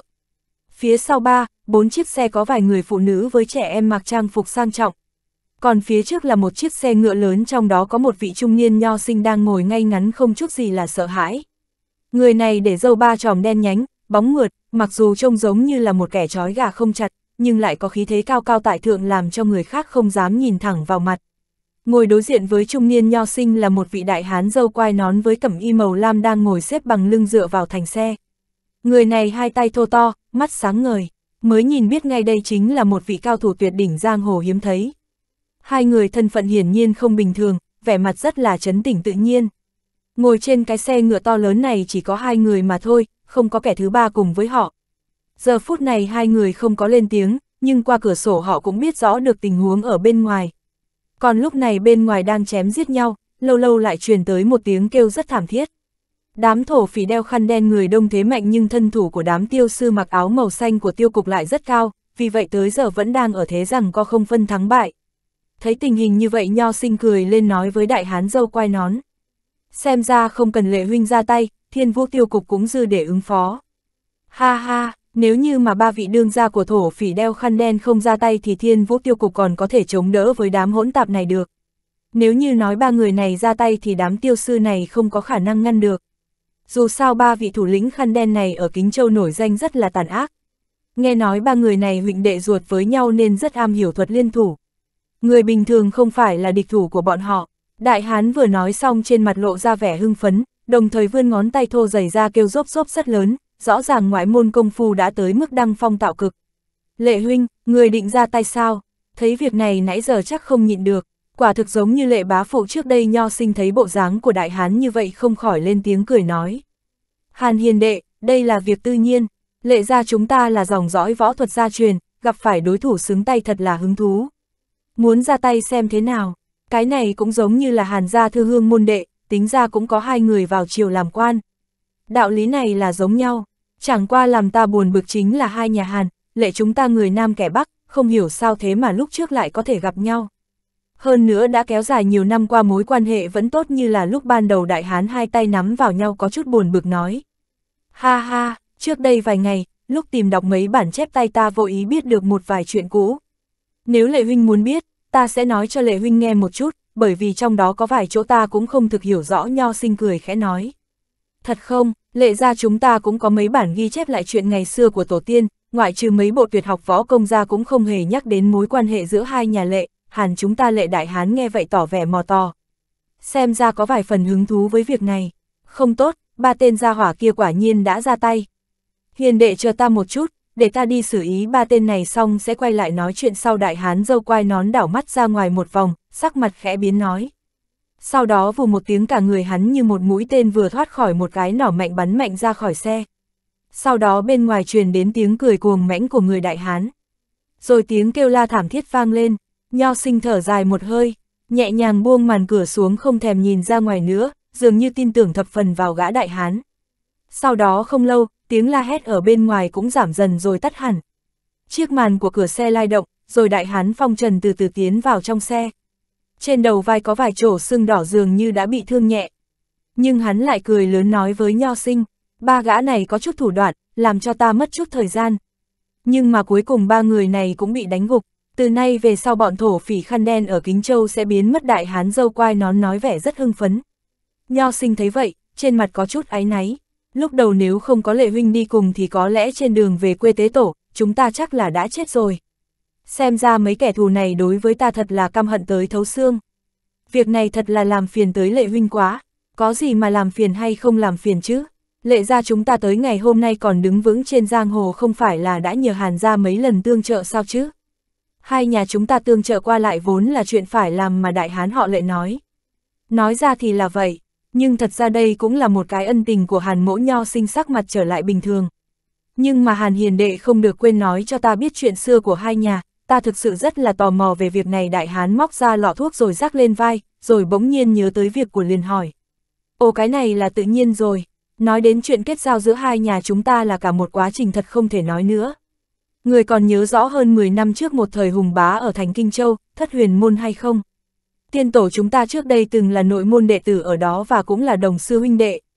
Theo như bản ghi chép nọ thì hàn gia chúng ta có một vị thúc tổ cùng với tiên tổ của lệ gia ngươi đều cùng là nội môn đệ tử ở thất huyền một, bọn thân nhau như huynh đệ đồng cam cộng khổ chia ngọt, sẻ bùi với nhau. Và cũng từ đó hai nhà chúng ta mới kết giao với nhau cho tới nay. Mà vị thúc tổ này của ta lại càng không nghe nhắc đến. Nghe nói năm đó, trong khi nho sinh bình thản kể chuyện, bọn người áo xanh đem thi thể của đối phương đi chôn cất. Rồi chuẩn bị lại xe ngựa rồi từ từ rời đi, vùng hoang vắng dần dần trở lại im lặng, hoang lương không một bóng người. Thanh Nghiêu Trấn, Hàn Lập cả người thanh quang bao bọc đang lơ lửng cao trăm trượng trên không, nhìn thấy cái thành nhỏ này trong lòng nổi lên một tia nghi hoặc. Cái thành này mặc dù rất nhỏ, chỉ có vài dặm vuông, nhưng lại làm cho hắn có một ấn tượng khó quên đó là ở cái ngã tư đường này giống y trong trí nhớ của hắn. Vị trí này trong đầu của hắn chính là Thanh Nghiêu Trấn thật không có gì sai. Xem ra đã hơn 100 năm không có trở về, không ngờ cái chấn nhỏ năm đó giờ lại là một cái thành trấn phồn hoa, từ trên không nhìn một chút Hàn Lập không khỏi kinh ngạc trần trừ một lúc rồi bỗng nhiên hắn thi triển ẩn nặc pháp thuật. Thân hình trầm xuống biến thành một người bình thường không ai chú ý tới xuất hiện trong một hẻm nhỏ, rồi từ đó khoan thoai bước tới ngã tư đường phía trước. Thật sự là khác quá. Hàn Lập nhìn thấy nhà cửa, lầu các hai bên đường khác trước rất nhiều rồi thầm đánh giá trong lòng. Không biết vì sao lại đi tới phía tây, rồi nhìn thấy tiểu sơn thôn nơi mình đã từng sống cùng với đại hán Thanh Sơn. Nhưng hắn lại trần trừ không bước tới và cũng không nghĩ ra bây giờ nó thay đổi rất nhiều biến thành thanh nghiêu chấn. Giờ phút này trên mặt của Hàn Lập có vẻ rất bình tĩnh nhưng trong lòng lại hồi hộp sao xuyến, hy vọng nhìn ra hai bên đường gặp được cái gì còn quen thuộc với mình. Nhưng sau khi nhìn kỹ, hắn lại hoàn toàn thất vọng. Đột nhiên Hàn Lập từ từ bước chậm lại, đi tới ngã ba rồi dừng lại. Hắn đưa mắt nhìn tới tòa tiểu lâu cũ nát, đứng yên đó không nhúc nhích. Cái tử lâu cũ kỹ này chỉ có một trệt và một lầu, trên cửa lớn còn sót cái bảng hiệu Hương Xuân. Nơi này chính là nơi mà Hàn Lập đã từng sống 2 năm ở đó với tam thúc của mình chính là vị Hàn mập mập quản lý cái tử lâu Hương Xuân này. Nhìn tử lâu này, Hàn Lập mơ hồ nhớ lại những kỷ niệm xưa. Nhớ lại gương mặt béo tròn của tam thúc, sau khi đi vào bên trong tử lâu bằng con đường nhỏ phía sau rồi đi vào xương phòng âm u, ngồi xuống ghế vừa nhả khói thuốc vừa ăn trái cây thật là sảng khoái. Còn có cây cờ nhỏ màu đen của thất huyền môn cắm trên xe ngựa. Tất cả những việc này đang hiển hiện ra, dường như đang tái hiện lại tất cả trước mặt của Hàn Lập. Hàn Lập nhìn từ lâu với vẻ mặt cực kỳ phức tạp, còn ánh mắt thì toát ra vẻ buồn bã đau thương. Sau khi hắn đứng nhìn từ lâu trong chốc lát, bỗng nhiên phát hiện ra có nhiều người nhìn mình với vẻ mặt cổ quái, việc này cũng khó trách bởi tự nhiên có một gã thanh niên lại đứng bất động gương mắt nhìn cái tử lâu củ kỹ này không nháy mắt thì quả thật có chút không bình thường. Hàn lập định thần lại rồi chấp hai tay sau lưng, chậm rãi bước tới tiểu lâu này. chương 658, Hàn gia từ. Vừa tới cửa tiểu lâu liền xuất hiện một tên tiểu nhị mời Hàn lập vào bên trong. Hàn lập cũng không đi lên lầu mà tìm một chỗ khuất ở góc tầng trệt của tiểu lâu rồi ngồi xuống. Hắn kêu vài món ăn đơn giản, không nói lời nào mà đưa mắt nhìn khắp nơi trong tiểu lâu từ từ nhận xét. Ở trong này, khách nhân đông đảo so với lúc trước đây khi Hàn Lập còn làm việc cũng không khác bao nhiêu. Không kể là khuôn vác, kiệu phu hay tiểu sinh ai ai cũng có cả. Duy nhất chỉ có một bàn với vài đại hán thân kình trang đang ngồi là đáng chú ý thôi. Bàn này có khoảng 5, 6 người, mỗi người lại đem theo một cái bao lớn đặt ở chỗ thuận tay có thể lấy ngay. Hàn Lập không cần dùng thần thức dò xét cũng biết ngay đó là các loại vũ khí đao kiếm. Qua phục sức của những người này có thể thấy họ thuộc vào một bang phái nào đó. Tuy nhiên, như vậy cũng tạo cho Hàn Lập một cảm giác thân thiết giống như ngày trước lúc còn ở thất huyền môn. Thần thức chuyển tới những người này, mặc dù họ hạ giọng nói rất nhỏ, nhưng vẫn lọt vào tai Hàn Lập rất rõ ràng, quả nhiên toàn là những việc chém giết giữa các bang hội với nhau. Hàn Lập thấy vậy không có hứng thú nghe tiếp liền rời đi qua những người khác. Ngay lúc này, từ bên ngoài tử lâu có hai gã nho sinh còn trẻ, hai người này vừa nói chuyện vừa tiến vào bên trong tử lâu. Nghe nói lúc này Hàn Thị Lang đang hồi hương tế tổ. Chẳng những châu lệnh đại nhân tự mình đến bái hội mà còn có hai nhà phạm, Lý cũng phái người tới. Xem ra Hàn gia phải tổ chức long trọng để đón tiếp rồi, thật không thể nào qua loa được. Cũng không thực vậy, nghe nói lần này tế tổ, Hàn gia phát ra tín hàm đưa khắp nơi bất kể là người nào mà là tộc nhân đều phải quay về. Ở Kính Châu này ai có chút tiếng tăm đều gửi người tới xem lễ. Ta thấy Hàn gia phát triển rất nhanh sau này cũng như hai nhà phạm, Lý trở thành tam đại thế gia ở Kính Châu này đây. Ha ha, nghe nói Hàn gia mới quật khởi lên không qua 100 năm. Thế nhưng lại có thanh thế như vậy, thật sự là khó tin, chuyện này cũng có chút kỳ quái. Theo Hàn gia thì có một thế hệ con cháu bên ngoại của họ quật khởi lên. Từ đó con cháu liên tục thi đậu làm quan lớn rồi tích lũy dần dần. Vì vậy tới ngày hôm nay có được như vậy cũng không có gì lạ. Không bằng chúng ta cũng nên đến đó xem một chút đi. Hai gã nho sinh lựa chọn một cái bàn gần chỗ của Hàn Lập rồi ngồi xuống. Hàn gia Hàn Lập vừa nghe nói thế liền dùng mình, vội vàng chú ý nghe tiếp. Nhưng hai người đó lại chuyển đề tài, đàm luận một ít việc về kinh thư, thì cử nên làm cho Hàn Lập cảm thấy thất vọng. Nhưng hắn liền thay đổi suy nghĩ rồi liền đứng dậy đi tới chỗ hai gã nho sinh. Hai vị huynh đài, tại hạ Hàn Lập, không biết vừa rồi hai vị nói đến Hàn gia không biết là Hàn gia nào vậy. Tại hạ vừa mới đến nơi này cũng là theo tín tổ triệu hồi bổn gia tế tổ. Chỉ là tại hạ từ nhỏ đã sớm bôn ba ra bên ngoài, vì vậy đối với bổn gia tổ cũng không biết là ở nơi nào. Kính mong hai vị huynh đài chỉ giúp cho Hàn Lập đi đến trước mặt nho sinh mỉm cười rồi hỏi. Thì ra huynh đài là đệ tử của Hàn gia, thật là thất kính. Chẳng qua bản địa của Hàn gia chỉ có một mà thôi đó là ngũ lý câu Hàn gia.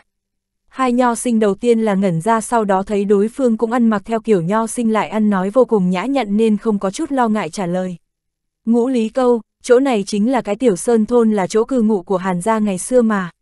Bởi vì cả thôn này bị bao vây trong năm sáu ngọn núi nhỏ cho nên nó mới có cái tên như vậy. Xem ra cái hàn gia mà nho sinh đàm luận nãy giờ có lẽ 89 phần là có liên quan đến hắn. Nếu là ở ngũ lý câu thì hàn gia này đây chính là bổn gia. Hai vị có thể kể cho ta nghe một ít chuyện về nó đi, tiểu đệ thật sự chưa bao giờ về tới bổn gia, mong là các vị không chê cười tại hạ hàn lập sắc mặt bình thường rồi ôn hòa hỏi. Cái này, chúng ta cũng chỉ biết đại khái một vài chuyện mà thôi, thật sự cũng không ảnh hưởng bởi lẽ những việc này ai cũng biết hết cả rồi. Hai vị nho sinh liếc nhìn nhau, rồi có một vị lại dò xét Hàn Lập cảm thấy hắn không phải là kẻ xấu nên cũng đáp ứng. Đa tạ hai vị Hàn Lập mỉm cười tạ ơn lần nữa. Còn vị nho sinh kia mở miệng nói, huynh đài nếu là tới đây tham gia tế tổ cũng không cần đi tới ngũ lý câu. Bởi vì hơn 10 năm trước Hàn gia đã rời đi khỏi Hàn gia hơn 10 dặm. Vào ngày tế tổ thì chỉ có tộc nhân mới có tư cách trở về chỗ cũ là ngũ lý câu. Nhưng mà Hàn ra, Hàn Lập im lặng nghe Nho sinh nói, biểu hiện ra ngoài thì rất bình thường nhưng mà trong lòng lại không ngừng bồi hồi, xúc động. Sau đó hai canh giờ, Hàn Lập xuất hiện ở phía trên không trung của Thanh Sơn, lúc này hắn không hạ xuống mà chỉ đứng đó lặng lặng nhìn xuống phía dưới rồi im lặng không nói gì. Nơi này có phải là thôn nhỏ ngày xưa, con đường đất vàng nhỏ, nhà nhỏ bằng cỏ, tên tiểu hài từ tất cả đều không thấy, mà bây giờ thay thế vào đó chính là các tòa đại viện lợp ngói, phòng ốc san sát, con đường nhỏ đã được lót đá. Người hầu ăn mặc chỉnh tề, hiện tại không còn chút gì bóng dáng của ngày xưa. Xem qua một lúc, Hàn Lập lắc đầu vốn định rời đi, nhưng mà ánh mắt bỗng nhiên nhìn thấy một gian lầu các ở giữa. Cái lầu các này xem ra không lớn lắm, ngoại trừ những tòa lầu ở bên ngoài thì cái lầu này chỉ có một trệt và một lầu, trông có vẻ khác lạ không giống như tổng thể kiến trúc chung quanh. Tòa lầu này đã đóng chặt cửa, phía ngoài cửa có một tấm biển dùng ngân phấn viết hàn ra từ thật lớn. Trên mặt Hàn Lập hiện ra một tia dị sắc, suy nghĩ một chút, thân hình bỗng biến mất rồi xuất hiện trước cửa của tòa lầu. Phía trước tòa lầu có vài tên lưng hùm vai gấu đứng canh gác, nhưng do Hàn Lập thi triển ẩn thân thuật nên không bị bọn chúng phát hiện ra. Sau khi tùy tiện liếc mắt qua bọn chúng, Hàn Lập thi triển độn thuật xuyên thẳng qua cửa vào bên trong. Khi vào bên trong rồi, liếc nhìn qua một loạt các bài vị liền thấy có khoảng mấy trăm cái bài vị bằng gỗ phân biệt ra đặt trên bàn thờ ở bốn phía tạo thành một cái thông đạo dài. ngoài ra còn có rất nhiều chỗ trống dường như là để cho những người sau dùng tới. Ánh mắt đảo qua mấy cái bài vị phía trên, thấy ghi tên của những người họ Hàn nhưng tên tuổi những người trông rất là lạ với hắn. Hàn Lập không đứng lâu mà liền đi lên lầu, trên lầu cũng có một số linh vị, nhưng nhìn thấy trang trọng hơn nhiều. Chẳng những có nhiều lô hương, đàn hương mà còn có một cái đỉnh đồng thật lớn nằm trung tâm, còn ở giữa đỉnh là một cây nhang thật to cùng với cây nến tỏa ra ánh sáng không khỏi làm cho người ta cảm thấy trở nên nghiêm trang, kính cẩn hơn.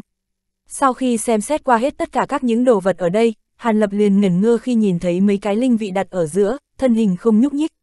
Hàn Chú, Hàn Thiết, Hàn Thiên Sinh, mấy tên này rất là quen thuộc nhìn những cái mộc bài màu đen phía trên, trong lòng Hàn Lập chợt đau nhói, bỗng nhiên thở không nổi, làm cho không khí xung quanh trầm xuống. Người xưa có câu nói rất hay, đại đạo vô tình. Nhưng điều này cũng chỉ là một loại dối người gạt mình mà thôi. Cho dù hiện tại Hàn Lập đã trở thành thần tiên nhưng cũng không thể đoạn tình tuyệt dục được. Chẳng qua những loại tình cảm này chỉ được che giấu tinh vi sâu trong đáy lòng mà thôi. Sau đó Hàn Lập liền di chuyển chậm rãi tới trước những cái linh vị này rồi dừng lại. Mặt không thay đổi nhìn chúng, rồi trong đầu không ngừng hiện lên những hình ảnh thân thương của người xưa thật là ấm áp. Thời gian từ từ trôi qua, không biết bao lâu sau đó. Cửa tòa lầu mở ra, một âm thanh trầm ổn làm cho Hàn Lập đang miên mang suy nghĩ bừng tỉnh lại, nhưng người vẫn đứng tại chỗ không nhúc nhích. Lúc này dưới lầu truyền đến bước chân của hai gã trung niên đang nói chuyện với nhau. Lệ huynh, xem ngươi thật là gấp đó. Không phải là ta đã nói là sau khi tế tổ xong, ta sẽ cho ngươi xem mà, không cần phải nóng vội như thế một gã nam tử có chút hồ hởi nói. Ha ha, Hàn hiền đệ, ai bảo ngươi nhắc đến chứ, phía sau bản chép tay của gia tổ có ghi lại một bộ pháp vô danh. Ta thấy có chút kỳ lạ, một khi là do lệ gia tổ nghĩ ra loại võ học này thì tại sao tới bây giờ ta lại không biết chứ? Vì vậy tự nhiên phải muốn biết sớm hơn một chút chứ. Nhưng ta không hiểu vì sao bản chép tay này lại được thờ phụng ở đây nữa, nếu như bị ai đó trộm đi thì không phải là tai họa sao? Người còn lại ngượng ngùng một chút rồi lo lắng nói. Ha ha, người bình thường thì ai lại chạy vô từ đường mà ăn trộm chứ? Hơn nữa, mặc dù hàn gia chúng ta không phải đầm rồng hang hổ nhưng mà lúc nào cũng có người giỏi võ nghệ canh phòng cẩn mật. Người bình thường không thể tới gần được, còn nếu như lấy được thì không sợ hàn gia chúng ta truy xét sao? Nam tử đầu tiên nói với vẻ hoàn toàn tin tưởng, đúng là thế đó nam tử khác cũng đồng ý nói. Cộp cộp, âm thanh bước lên thang lầu truyền đến, một gã nho sinh cùng với một gã dâu quai nón xuất hiện ngay cửa thang lầu. Hai người vốn đang vừa cười vừa nói chuyện với nhau, nhưng liền phát hiện ra phía trước linh vị là Hàn Lập đang đứng chắp tay sau lưng, thì vẻ mặt co lại. Tên đại hán dâu quai nón ngẩn ra nhưng lập tức bước lên trước che cho người trung niên nho sinh, dâu tóc đều dựng lên gầm nhẹ một tiếng. Tốt, tặc tử, dám ở đây làm loạn, vậy thì hãy lưu cái mạng nhỏ của ngươi lại đây đi. Một lời vừa nói xong, hai tay nắm chặt nhảy lên không trung đánh tới Hàn Lập. Người còn chưa đến nhưng một luồng khí thế như cuồng phong bão táp đã phóng ra áp chế lấy đối thủ. Hàn Lập vẫn đứng im đưa lưng về phía hai người không nhúc nhích. chương 659, Tứ Thúc Tổ, bùm một tiếng vang lên, một quyền cực mạnh của Đại Hán giáng xuống lưng của Hàn Lập. Lúc mới đầu Đại Hán rất là hưng phấn tự tin nhưng sau đó sắc mặt liền đại biến. Thanh quang chợt lóe lên, Đại Hán giống như là bị một cái chùy lớn đánh phải liền bay ngược trở về sau. Thấy vậy trung niên nho sinh sắc mặt liền thay đổi lộ ra vẻ kinh ngạc. Bởi vì thân hình khổng lồ của đại hán bị bắn mạnh tới trước mặt hắn, chậm lại rồi hai chân chạm xuống đất dừng lại đứng im, không có chút kỳ lạ gì xảy ra. Lệ huynh không có sao chứ, ngươi có bị thương hay không? Nho sinh mới nhìn thì thấy giống như một văn nhân trói gà không chặt, nhưng do thường xuyên tiếp xúc với đại hán nên cũng hiểu đôi chút về các loại công phu trên giang hồ, bởi có những loại võ công đả thương một cách vô hình cho nên lo lắng hỏi. Không có việc gì, ta không bị thương, thân thủ của đối phương thâm sâu khôn lường, nhưng xem ra không có ác ý. Lệ đại hán sau khi dò xét bản thân một hồi, thấy không có gì tổn hại, không khỏi kinh nghi thấp giọng nói. Nho sinh vừa nghe thế, ra vẻ hiểu được, gật gật đầu rồi quay sang phía Hàn Lập. Vị tráng sĩ này, tại hạ là Hàn Thiên Khiếu chính là chủ nhân của Hàn gia không biết tráng sĩ đến đây có cần gì đến Hàn mỗ hay không. Nho sinh bình tĩnh nói, thần sắc không chút rối loạn. Chủ nhân của Hàn gia, Hàn Lập cuối cùng cũng chậm rãi quay đầu lại, ngươi, không có khả năng, hừ, các hạ nói vậy nghĩa là có ý gì? Không chờ Hàn Lập nói thêm mà cả nho sinh cùng với đại hán sau khi thấy rõ tướng mạo của Hàn Lập liền đồng thời thất thanh kêu lên. Nhưng sau đó nho sinh dường như nhớ ra việc gì liền chấn tỉnh lại như thường. Một lúc sau thì đại hán cũng lộ ra vẻ không mấy thân thiện. Các người nhận ra ta, Hàn Lập nhướng mày đưa ánh mắt nhìn qua hai người một chút, dường như muốn từ hai người này tìm ra một chút hình dáng quen thuộc nào đó, nhưng cuối cùng cũng chỉ cười khổ không thấy được chút gì cả. Các hạ còn hỏi sao? Ngươi một khi đã nhìn qua bức họa của tứ thúc tổ để dịch dung giả dạng thì vì sao không dám thừa nhận chứ nho sinh gương mắt nhìn thẳng tới Hàn Lập rồi từng chữ nói ra. Tứ thúc tổ, Hàn Lập nghe nói vậy trên miệng liền cười khẽ. Năm đó khi còn ở nhà thì hắn đứng hàng thứ tư vậy nói đến tứ thúc tổ thì chỉ là hắn chứ còn ai vô đây nữa.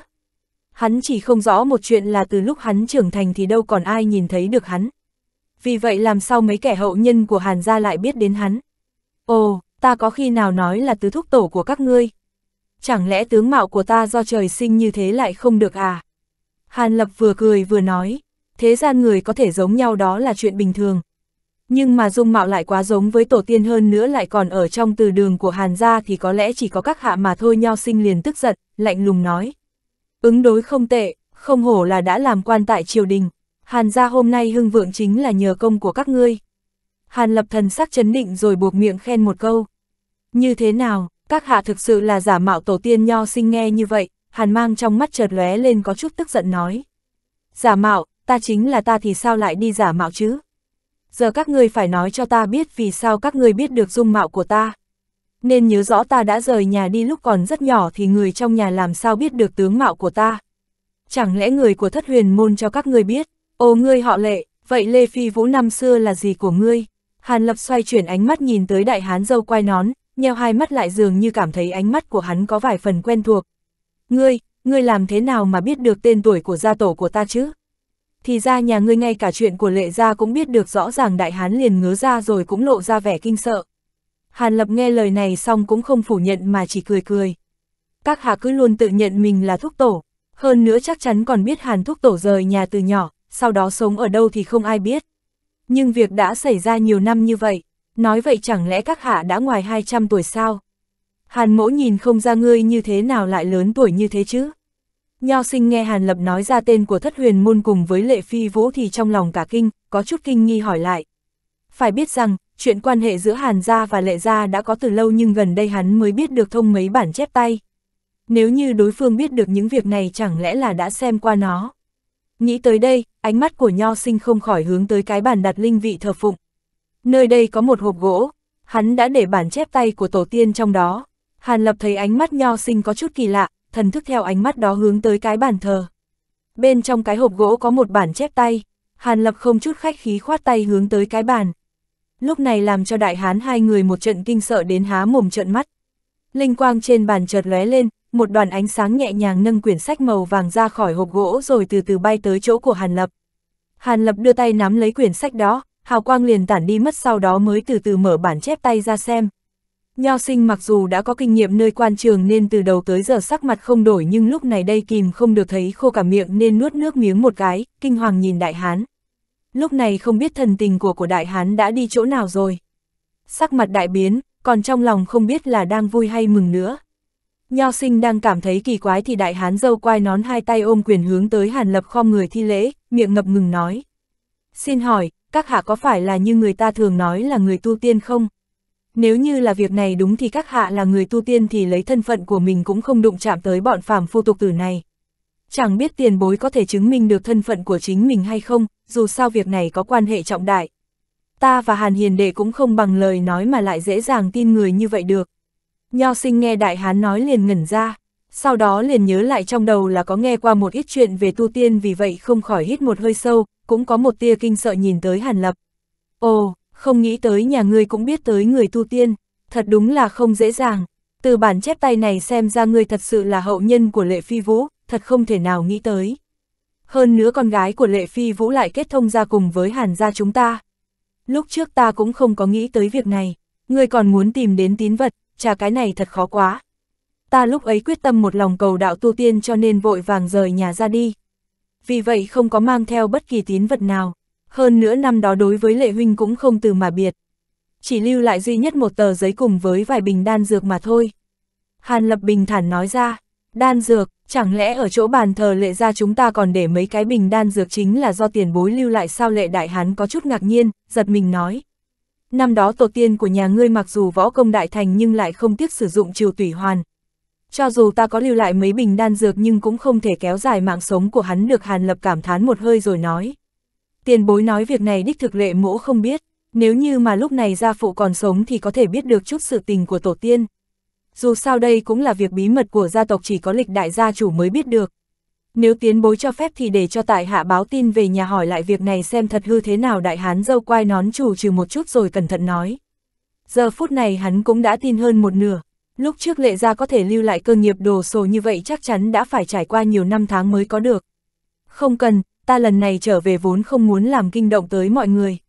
Ta chỉ là muốn xem qua những việc cần quan tâm lần cuối, sau đó coi như kết thúc mọi việc ở Trần Gian. Hiện tại gặp được hậu nhân của Hàn gia và thấy bọn họ cũng có cuộc bình yên vô sự. Ta cũng yên tâm Hàn Lập khoát tay chặn lại, chậm rãi nói. Nghe lời nói này đại hán dâu quai nón ngược lại ngước nhìn nho sinh với ánh mắt giò xét. Dù sao tổ tiên mình có được một người tu tiên thì ý nghĩa như thế nào đối với hàn lệ hai nhà, hắn đều biết được rõ ràng. Đại hán có thể nghĩ được việc này thì nho sinh cũng tự nhiên hiểu được. Hắn trầm ngâm một chút rồi cung kính nói, nếu các hạ thật sự là tứ thúc tổ của tại hạ thì tại hạ có một biện pháp có thể kiểm tra ngay lập tức để biết được chân giả. Bên trong hàn gia còn giữ một vài món đồ mà các vị tổ tiên đã sử dụng. Nếu tiền bối có thể nhận ra một trong những vật này thì vãn bối liền tin tưởng tiền bối nói đây là đúng. Mấy vật này là của những người đứng đầu hàn gia nên mới có tư cách được đặt trên bàn thờ để được thờ cúng, những người khác quyết không có được việc này. Vật xưa, vậy đến xem đi, ta năm đó rời nhà rất sớm thật cũng không biết được vài món hàn lập lạnh nhạt nói. Nếu là không quá phiền toái, hắn cũng sẽ không cự tuyệt việc nhận mặt cùng với hậu nhân của hàn gia. Xin tiến bối cứ yên tâm những đồ vật này đều là của tổ tiên sử dụng khi còn nghèo, đã được giữ như vậy từ lâu để tưởng nhớ tới tổ tiên. Ta đi lấy mấy thứ đó cho tiền bối xem, nho sinh sau khi thi lễ với Hàn Lập xong liền đi xuống lầu. Dưới lầu truyền đến vài tiếng động nhỏ, một lúc sau, nho sinh hai tay bưng một cái mâm có phủ vải đỏ ở trên cung kính đưa tới cho Hàn Lập xem. Hàn Lập mở cái tấm vải đỏ xuống, đưa mắt nhìn qua những đồ vật của này. Ồ, thì ra những thứ này, thật không thể nghĩ tới cuộc đời này còn có thể thấy được chúng mắt của Hàn Lập lộ ra vẻ ngoài ý muốn nhưng có chút vui mừng nói lên. Mấy thứ này, tiền bối biết chúng sao? Nho sinh cẩn thận hỏi, vẻ mặt có chút khẩn trương. Ta có thể nhận biết hơn một nửa số đồ vật cũ này. Có khác là có thêm hai ba cái lúc ta rời đi mới có, cho nên không biết nó là đồ vật của ai thôi. Cái cung tên nhỏ và mũi tên này là của nhị ca hàn chú, hắn thích nhất là chơi đùa với nó. Còn lại cái cài tóc bằng gỗ này là của gia mẫu, người thích nó nhất. Còn cái túi nhỏ này là, Hàn Lập mỗi khi cầm lấy một cái vật nhỏ lên liền thì thào nói thầm trong miệng vài câu nhỏ, giống y như là xem những đồ vật rất quen thuộc. Chỉ nghe Hàn Lập nói đến một nửa, Nho sinh đã tin tưởng không còn nghi ngờ gì nữa. Vì thế, không chờ Hàn Lập nói xong hắn vội kéo đại hán cung kính quỳ xuống dùng đại lễ tham bái. Bất hiếu tử tôn Hàn Thiên khiếu bái kiến tứ thúc tổ. Lúc trước có chút hiểu lầm mong thúc tổ ngàn vạn lần tha thứ tội. Nói xong lời này nho sinh không dám ngước mặt nhìn Hàn Lập với vẻ mặt trong rất là hổ thẹn. Còn đại hán thấy vậy cũng rất cung kính. chương 660, Vệ Linh Kiếm. Hàn Lập thấy hai người nhận biết mình, trong lòng cảm khái không nói nên lời, chỉ đứng im lặng một chỗ, lúc sau mới mở miệng nói. Năm đó ta rời quê hương một lòng cầu đạo thật cũng không nghĩ Hàn gia lại có thể trở thành một đại gia tộc như ngày hôm nay. Có thể thấy được thế sự khôn cùng không liệu trước được. Hai người các ngươi đứng lên đi, ta mặc dù là thúc tổ nhưng cũng đã nhiều năm không về, cho nên đối với Hàn gia mà nói ta so với một người ngoài cũng không khác bao nhiêu. Không cần phải đa lễ như vậy, thúc tổ sao có thể nói vậy chứ, con đây mới là con cháu bất hiếu, không biết là thúc tổ vẫn còn tại thế. Nếu không đã phái người đón về để tận hiếu trung niên nho sinh đứng dậy, cung kính nói. Tận hiếu, việc này không cần, ta lần này đến là để nhìn xem một chút rồi lại ra đi không ở lại lâu. Ta đã là người cầu tiên tu đạo cho nên những việc ở trần tục này không nên dính dáng tới nữa thì mới tốt hàn lập khoát tay chặn lại lạnh nhạt nói. Thúc tổ, lão nhân ra người dự định đi sao? Vậy thì hơi vội vàng, hay là để thiên khiếu bảo mọi người trong hàn gia đến ra mắt người xong rồi đi cũng không muộn nho sinh cả kinh nói. Không cần, khi mới vừa tới đây, ta ở phía trên không trung của Hàn gia đã dùng thần thức dò xét qua mọi người. Thật là đáng tiếc, người của Hàn gia tuy nhiều nhưng lại không ai có được linh căn. Đối với ta mà nói thật sự không có cơ duyên, nếu không ta sẽ mang đi một hai người trong gia tộc theo ta tu luyện Hàn lập thở dài một cái ra vẻ có chút tiếc rẻ. Xem ra hậu nhân chúng ta phúc bạc không có khả năng theo thúc tổ cầu đạo tu tiên trên mặt nho sinh hiện lên một vẻ thất vọng rồi cười khổ nói. Người có linh căn thì mới tu tiên được, đây là việc trong vạn người mới có được một người. Vì vậy mấy trăm người trong gia tộc không có linh căn cũng là việc bình thường. Nhưng mà theo ý của ta, hàn lệ hai nhà không nên để cho đệ tử bước chân vào tu tiên giới thì tốt hơn. Dù sao, hiện tại tu tiên giới cũng không bình yên. Việc phá môn lập phái dẫn đến tiêu diệt, chém giết lẫn nhau rất nhiều. Chẳng may nhiều khi còn liên lụy đến cả gia tộc của mình nữa thì thật là không hay Hàn Lập lắc đầu nói. Hết thảy mọi việc đều nghe tứ thúc tổ phân phó nghe Hàn Lập nói như thế, nho sinh sửng sốt nhưng sau đó liền thành thật trả lời. Người là tử tôn của lệ phi vũ đời thứ mấy, tên gọi là gì? Hàn Lập xoay chuyển ánh mắt rồi nhìn tới đại hán dâu quai nón hỏi. Đại hán nghe hỏi vậy liền vội vàng cúi đầu trả lời. Vãn bối lệ phong là hậu nhân đời thứ 11 của phi vũ tổ tiên. Ra mắt Hàn thúc tổ, ta năm đó cùng với lệ phi vũ xưng huynh gọi đệ thật là thân thiết. Người gọi ta là thúc tổ xem ra cũng đúng, mới vừa rồi nhìn thấy người tận tâm che chở cho thiên khiếu, xem ra mấy năm gần đây lệ ra các ngươi đối với hàn gia chúng ta chiếu cố cũng nhiều. Còn ta thân là thúc tổ của hàn gia cũng không bạc đãi nhà ngươi. Đây có một ít đan dược rất có ích đối với người luyện võ các ngươi, nó giúp cho các đệ tử lệ gia không cần phải khổ công tu luyện mà vẫn có thể đề cao được thực lực. Hàn lập cho tay vào túi chữ vật vỗ một cái, bạch quang chợt lóe lên, lấy ra bảy tám cái bình nhỏ rồi đưa cho đại hán. Đại hán nghe vậy mừng rỡ, liền lên tiếng cảm ơn, rồi nhận lấy mấy cái bình nhỏ. Phải biết rằng trong giang hồ, tu luyện nội công không giống như người tu tiên mỗi lần phải hao phí hơn 10 năm, nhưng muốn có chút thành tựu thì phải mất rất nhiều thời gian nếu như có mấy loại đan dược này thì tự nhiên từ nay về sau lệ ra sẽ có thêm nhiều cao thủ nữa xuất hiện. Trung niên nho sinh thấy bạn mình được như vậy liền vui mừng cao hứng lên, đưa mắt nhìn về phía Hàn Lập có ý chờ đợi. Hàn Lập thấy vậy mỉm cười không vội mà đưa tay tới túi linh thú nhẹ nhàng vỗ một cái. Trong nháy mắt hơn một ngàn con tam sắc vệ kim trùng từ trong túi cuồng mãnh bay ra rồi tạo thành một đám mây côn trùng tam sắc thật lớn, lập lòe trói mắt trên không giống như là ngàn vạn điểm tinh quang xuất hiện vào ban ngày. Nho sinh cùng đại hán liền trợn mắt há mồm, kinh hãi không thôi. Hàn Lập không nói lời nào chỉ vào phía trên của đám mây tam sắc một cái. Hơn một ngàn con vệ kim trùng đột nhiên hướng tới không trung tụ lại rồi trong nháy mắt hóa thành một cây bảo kiếm ba màu lơ lửng trên không. Hàn Lập phất tay một cái, bảo kiếm kêu lên một tiếng rổn rảng rồi bay tới tay của Hàn Lập. Thấy cảnh quỷ dị này nho sinh cùng đại hán hai người hai người càng thêm kinh ngạc. Hàn Lập đưa một tay cầm kiếm còn tay kia khẽ vuốt lên thân kiếm từ cán cho tới mũi thần sắc âm trầm bất định. Sau đó một lúc lâu, hắn thở dài một hơi, mở miệng một đoàn linh khí màu xanh thoát ra phun lên trên bề mặt của bảo kiếm làm cho thanh quang lóe lên rồi một đám quang mang màu xanh lục bao phủ bên ngoài tạo thành cái vỏ kiếm. Hàn Lập cầm kiếm trước người và nói, kiếm này là do ta luyện hóa linh trùng mà thành, nó có khả năng tự hành giết địch, ta đặt nó ở tông đường. Nếu như có một ngày Hàn gia thực sự có tai họa diệt môn thì đem tất cả tộc nhân trốn hết vào tông đường này, chỉ bằng vào kiếm này có thể tạm lánh nạn qua được một kiếp. Nhưng mà các người cần phải nhớ cái kiếm này không phải do ta sử dụng nên khi linh kiếm này được rút ra khỏi vỏ thì ngoại trừ bên trong của tông đường, bên ngoài trong vòng 10 dặm liền bị nó tiêu diệt không còn loại sinh vật nào còn sống nữa. Cho nên các người phải ngàn vạn lần cẩn trọng khi sử dụng nó. Còn đây là một miếng ngọc bội có chứa tinh khí của ta, chỉ những ai đeo ngọc bội này thì mới có thể rút kiếm ra khỏi vỏ. Nếu không thì không có ai trong phàm nhân có thể rút kiếm này ra khỏi vỏ được. Sau này khối ngọc bội này giao cho lịch đại Hàn gia trưởng quản nó truyền đời xuống. Hàn Lập lấy ra một khối ngọc trong suốt xinh đẹp căn dặn Nho Sinh rất kỹ càng. Chất tôn ghi nhớ lời thúc tổ dạy bảo, Nho Sinh đã thấy hành động của Hàn Lập lúc trước, vì vậy không còn chút hoài nghi nào đối với hắn nữa, lúc này nghe như vậy liền kinh hỉ vui mừng đáp tạ. Hàn Lập thấy vậy chỉ cười cười nhưng cũng không vội đưa bảo kiếm và ngọc bôi ngay cho nho sinh mà lại lên tiếng nhắc lại lần nữa. Có việc này ngươi cần nhớ kỹ, bởi vì kiếm này là do linh khí phong ấn hóa thành, vì vậy thanh phệ kim kiếm này chỉ có thể sử dụng được 3 lần. Mỗi lần sử dụng thì linh khí sẽ ít đi một chút. Cho nên sau khi sử dụng 3 lần thì vỏ kiếm này sẽ tan biến đi. Linh kiếm sẽ hóa thành linh trùng bay đi mất. Ta nghĩ có 3 lần giải cứu đại nạn cho Hàn gia thì ta vị thúc tổ này xem ra cũng không làm cho Hàn gia thất vọng dù sao trên đời này cũng không có chuyện gì giàu sang muôn đời. Nhưng vì để phòng ngừa hậu nhân mưu lợi, muốn dùng bảo kiếm này làm chuyện không đúng.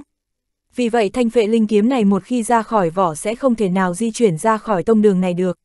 Nếu mà đem khỏi nơi đây thì nó sẽ tan biến mất không còn tồn tại nữa. Phải biết sử dụng cho tốt thanh kiếm này thì hàn gia cũng có thể duy trì liên tục vài trăm năm nữa chắc hẳn cũng đủ rồi. Từ nay về sau có thể làm cho hàn gia có cuộc sống bình thường, yên ổn thì cũng là một chuyện tốt. Hàn Lập nói xong lời này rồi mới đưa hai kiện đồ và tê quy. Nho sinh liên tục cảm tạ, không người nhận kiếm rồi cẩn thận đặt ở chỗ trang trọng nhất trên bàn thờ, rồi mới hồi nhớ lại những lời Hàn Lập dặn dò. Hàn Lập thấy thái độ cung kính của nho sinh thì rất hài lòng, suy nghĩ một chút rồi mới lấy ra hai cái bình nhỏ màu vàng phân biệt ra, ném cho nho sinh cùng với đại hán rồi nhìn hai người này có chút mỉm cười nói. những vật vừa rồi là cấp cho Hàn Lệ hai nhà. Nói gì thì nói hai người các ngươi cũng là hậu bối của ta, lần này tận mắt nhìn thấy vị thuốc tổ này xem ra cũng có chút cơ duyên. Ta như thế nào lại không cấp cho các ngươi chỗ tốt chứ? Đây là hai bình đan dược đối với ta không có tác dụng gì nhưng đối với phàm nhân mà nói thì có thể kéo dài tuổi thọ, cường thân kiện thể không bị bệnh tật hay ốm đau. Hai người các ngươi hãy thu lấy đi, nó có thể bảo đảm cho các ngươi sống lâu hơn 100 tuổi. Đa tạ tứ thúc tổ, đa tạ hàn thúc tổ, nho sinh cùng đại hán nghe vậy, tay cầm cái bình nhỏ đồng thanh cảm tạ, vẻ mặt vô cùng mừng rỡ với món quà này. Hàn lập gật gật đầu, dò xét bốn phía rồi ánh mắt lộ ra một tia tò mò hỏi. Hai người các ngươi làm sao mà từ đầu có thể nhận ra ta chứ? Xem ra đúng là có giữ lại bức họa của ta. Nếu có ở trong tông đường này thì ta muốn xem qua một chút để biết được ai đã vẽ ra nó. Bức họa có ở đây, mong thúc tổ chờ một chút nho sinh nghe ngẩn ra rồi lập tức đáp. Đi đến bên bức vách của lầu các giống như bình thường rồi nhấn một cái. Kéo kẹt một tiếng, một phần của bức tường di chuyển qua để lộ bên trong một khoảng trống thấy treo năm sáu bức họa bằng lụa. Hàn lập bước tới trước vài bước rồi đứng yên bất động. Bức họa vẽ một vị thanh niên khoảng 17-18 tuổi đang mỉm cười, trên mặt còn có nét ngây thơ đúng là dung nhan ngày xưa của Hàn Lập. Bức họa này chính là do tổ tiên của lệ gia chuyển giao cho Hàn gia chúng ta còn về việc ai vẽ thì không biết được trung niên nho sinh đứng sau Hàn Lập nhẹ giọng nói. Nhưng Hàn Lập giống như không nghe thấy, ánh mắt chớp chớp vài cái, ngược lại đưa mắt nhìn lên phía trên thì thấy bức họa của phụ thân mình mặc trang phục sức của viên ngoại gương mặt có vẻ già hơn lúc ở trong thôn nhiều, nhưng vẻ mặt trông rất là vui vẻ. Trên mặt Hàn Lập hiện lên vẻ buồn bã ảm đạm, sau đó đưa mắt nhìn những bức họa khác. Nhưng người trên những bức họa này đều là những lão già tóc bạc, Hàn Lập nhìn một hồi thì nhận ra đó là tướng mạo lúc về già của mấy vị huynh trưởng ngày xưa, trong lòng ngập tràn cảm xúc, đứng ngẩn ngơ. Giờ phút này nho sinh cùng với đại hán dâu quai nón cũng không dám mở miệng quấy giày Hàn Lập. Nhưng đúng lúc này thì Hàn Lập lại thì thào tự nói vài câu, âm thanh rất nhỏ dường như nghe cũng không rõ lắm. Nho sinh đang ngưng thần lắng nghe một ít thì quanh thân Hàn Lập ánh sáng bùng lên làm chói mắt. Hai người cả kinh theo phản xạ của bản thân liền nhắm mắt lại, đến khi mở ra thì không thấy Hàn Lập đâu cả. Nhưng lúc này cả hai người đều nghe thấy tiếng của Hàn Lập truyền đến. Mặc dù ta cũng biết một chút thần thông của thần tiên nhưng cũng có một một số cửu nhân rất là lợi hại. Hôm nay có duyên cùng các người nói chuyện, vì vậy không nên nói chuyện này ra ngoài. Nếu không chỉ sợ để lộ cho người ta biết được thì không hay. Còn thanh phệ linh kiếm thì đừng cho người khác thấy, các tu sĩ của tu tiên giới sẽ không chú ý tới phạm nhân các ngươi, vì vậy không cần phải lo lắng gì cả. Còn ta bây giờ chuyên tâm theo đuổi việc cầu tiên học đạo cho nên chắc chắn không còn gặp các ngươi nữa. Vì vậy các ngươi hãy tự bảo trọng lo cho mình thật tốt. Nói xong những lời này, âm thanh của Hàn Lập dường như vẫn còn phảng phất xa xa. Đại hán cùng nho sinh liếc mắt nhìn nhau một cái nhưng không khỏi bần thần trong lòng. chương 661, hành thích bại lộ. Hàn Lập đích xác đã bay xa hơn 5 dặm, hơn nữa trước đó sớm đã độn hơn mười mấy dặm, nên chỉ nói lại mấy câu cuối cùng rồi cũng không quay đầu lại hóa thành một đạo cầu vòng bay đi. Người của Hàn gia bây giờ, nói là cùng hắn có chút quan hệ, nhưng thực ra trong tâm hắn chính thức là người nhà thì Thủy Trung chỉ có cha mẹ cùng huynh trưởng tiểu muội mấy người. Nho sinh cùng đại hán mặc dù Thủy Trung đối với hắn cực kỳ cung kính nhưng Hàn Lập vẫn không cách nào sinh cảm giác thân cận. Dù sao nhiều năm xa cách như vậy cùng với việc thanh nghiêu chấn xung quanh năm dặm thay đổi quá nhiều làm cho Hàn Lập khó có thể dung nhập, chỉ thấy cảm giác hết sức xa lạ. Chẳng qua, quay về quê quán một chuyến, một điểm vướng bận trong lòng cuối cùng cũng đã được hóa giải. Tin tưởng rằng trải qua một ít năm tháng nữa, cuối cùng mối quan hệ này sẽ không còn gì nặng nề nữa. Hàn Lập âm thầm suy nghĩ, sau đó nhận thức chuẩn phương hướng gia tăng tốc độ phi hành. Một vài ngày sau, Hàn Lập trên đường qua Lam Châu, trong lòng vừa động cố ý đi đường vòng thăm ra Nguyên Thành một chút. Kết quả sau khi vào thành mới phát hiện, thành này cũng cảnh còn người mất. Chẳng những tôn nhị cầu cùng tứ bình bang sớm đã tan thành mây khói, ngay cả Lam Châu ngũ sắc môn từng uy chấn một thời hơn trăm năm đã không còn tồn tại, mà bị một tân quật khởi thiên nhất hội thay thế. Nếu hắn nhớ không lầm thì sau lưng ngũ sắc môn năm đó dường như có bóng dáng Linh Thú Sơn, mà Linh Thú Sơn khi cùng ma đạo quyết chiến lại đột nhiên phản thủ ngả về ngự Linh Tông. Mà bây giờ Việt Quốc đã bị quỷ Linh môn khống chế trong tay, nói như thế thì ngũ sắc môn xuống dốc, cũng là chuyện rất bình thường. Cũng không biết lúc đó Mạc Ngọc Châu cùng kỳ nữ anh chứ có chuyện gì ngoài ý muốn không. Đáng tiếc chuyện năm đó xảy ra đã quá lâu, Hàn Lập cho dù một hơi hỏi thăm các nơi, vẫn không có tin tức gì. Hàn Lập chỉ có thể thở dài một phen rồi cũng vội vã rời đi. Về phần tôn nhị cẩu mặc dù nói tôn gia nhận hắn làm chủ nhân nhưng hắn chưa bao giờ chính thức yêu cầu tôn gia làm cái gì. Ngược lại trước sau cấp tôn nhị cầu không ít chỗ tốt nên sau khi không nghe tin tức gì về tôn gia thì hắn cũng không có lý do gì phải vướng bận. Vì vậy Hàn Lập rời khỏi gia Nguyên Thành, trong lòng không còn có vương vấn gì mà nhắm thẳng Nguyên Vũ Quốc bay đến, chuẩn bị xuyên qua Nguyên Vũ Quốc để trở về Lạc Vân Tông. Nhưng hắn vừa rời khỏi gia Nguyên Thành được nửa ngày thì đột nhiên thần sắc ngẩn ra, người đang bay trên trời cao dừng lại. Hắn quay đầu, người hướng về một phía xa xa nhìn vài lần, hai mắt không khỏi híp lại. Mà cùng lúc đó giữa đoàn người ngoài 200 dặm cũng dừng độn quang lại. Trong đó hai bạch y nữ tử lại càng trần trừ liếc mắt nhìn nhau, trên khuôn mặt ngọc dâng lên một tia nghiêm trọng. Hai vị sư thúc, chẳng lẽ xảy ra chuyện gì, không ổn.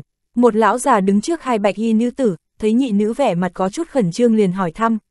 Ừm, mới vừa rồi chúng ta cảm ứng được vị trí của đối phương, nhưng Linh Anh đột nhiên đình chỉ đi tới, đứng ở nơi nào không nhúc nhích, không biết là có phải đã phát hiện ra tung tích chúng ta hay không.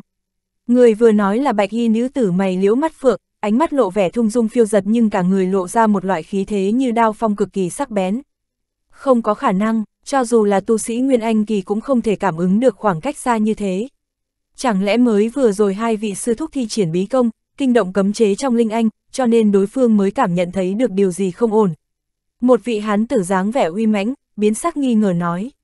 Không có khả năng, công pháp của chúng ta là do sư tổ các ngươi tự mình truyền cho. Chỉ là đơn phương cảm ứng tới vị trí Mộc Linh Anh. Đối phương chỉ cần pháp lực chưa tu luyện tới Nguyên Anh hậu kỳ thì không thể phát hiện được cái gì dị thường. Dù sao chúng ta cách xa đối phương mấy trăm dặm, tu sĩ Nguyên Anh bình thường cho dù thần thức cường đại dị thường cũng nhiều lắm có thể quan sát động tĩnh trong phạm vi trăm dặm, như thế cũng là cực kỳ đáng sợ rồi. Chẳng lẽ chúng ta thi triển cấm chế tìm tu sĩ Linh Anh lại gây động tĩnh đến lão quái vật hậu kỳ nào không chừng? Nữ tử họ liễu lắc đầu, quả quyết phủ nhận nói. Nhưng, liễu sư thúc, tại sao đối phương có thể? Nữ tu sĩ trúc cơ kỳ áo lục lo lắng muốn nói gì đó. Nhưng chỉ trong giây lát, Hạm Vân Chi đang yên lặng đứng một bên bắt quyết bỗng thần sắc cả kinh mở miệng. Không ổn, vị trí Linh Anh di chuyển bay về hướng chúng ta. Cái gì, bay về hướng chúng ta? Thật sự phát hiện ra chúng ta ư? Nữ tử họ liễu hoa dung thất sắc cũng vội vàng bắt quyết cảm ứng cái gở đó. Người mang cấm chế Linh Anh thật sự mang theo Linh Anh bay lại đây, hơn nữa tốc độ nhanh một cách thần kỳ. Khẳng định là Nguyên Anh kỳ tu sĩ không thể nghi ngờ kết quả một lát sau nữ tử này sắc mặt phát lạnh khẳng định. Chạy mau, quyết không thể động thủ cùng người này, nếu không chúng ta hẳn phải chết không thể nghi ngờ. Ta nhớ kỹ phân đàn Lam Châu Quỷ Linh Môn được thiết lập tại vùng phụ cận. Mấy người chúng ta bây giờ chạy tới đó, mặc dù hai nhà có chút không hợp, nhưng dù sao cũng là đồng ma đạo, đối mặt với vô danh Nguyên Anh kỳ tu sĩ này cũng chỉ có cách mượn trận pháp nơi đó mà tự bảo vệ mình. Hơn nữa, đối phương chưa chắc thực sự có dũng khí thản nhiên công kích phân đàn quỷ linh môn, cơ hội chạy thoát của chúng ta rất lớn Hạm Vân Chi trầm ngâm một chút, rồi chậm rãi nói. Hạm sư thúc nói không sai, chúng ta mau đi nhanh. Nếu không là không kịp đại hàn áo lục nghe nói có tu sĩ Nguyên Anh Kỳ đang đến đây thì không khỏi khô cổ nuốt nước miếng, có chút kinh hoàng. Hừ, hoảng hốt cái gì, chúng ta sáu người thi triển linh hợp quyết, liên kết pháp lực sáu người thành toàn thể, như vậy đủ có thể làm cho độn tốc đề cao gần nửa. Làm phép nhanh lên một chút, nữ tử họ liễu nhíu hai hàng lông mày, ánh mắt lạnh như băng liếc mắt nhìn đại hán nói. Đại hán giật mình sợ hãi, không dám nói gì nữa. Lấy hạm vân chi cùng nữ tử họ liễu làm chủ, sáu người lập tức bắt đầu làm phép, tự phát ra pháp bảo pháp khí rồi cách không gắn bó linh khí thành một thể, phảng phất hóa thành một đạo hoàng quang, phá không phi đột, tốc độ vô cùng mau chóng. Mà lúc này Hàn Lập đang tại một đầu khác, sắc mặt âm trầm toàn lực bay tới. Thần thức hắn bây giờ mạnh mẽ đến mức nào thì ngay cả bản thân Hàn Lập cũng không rõ lắm. Chỉ biết có người chủ tâm làm phép, dựa vào tầng thứ tư của đại diễn quyết, thần thức hắn đủ bao phủ phạm vi trong vòng trăm dặm. Mà ngoài trăm dặm thì mặc dù không cách nào dò xét toàn bộ sự tình lớn nhỏ đến tột cùng nhưng động tĩnh đại khái trong vòng 2-300 dặm thì cũng có thể cảm ứng được 8-9 phần 10.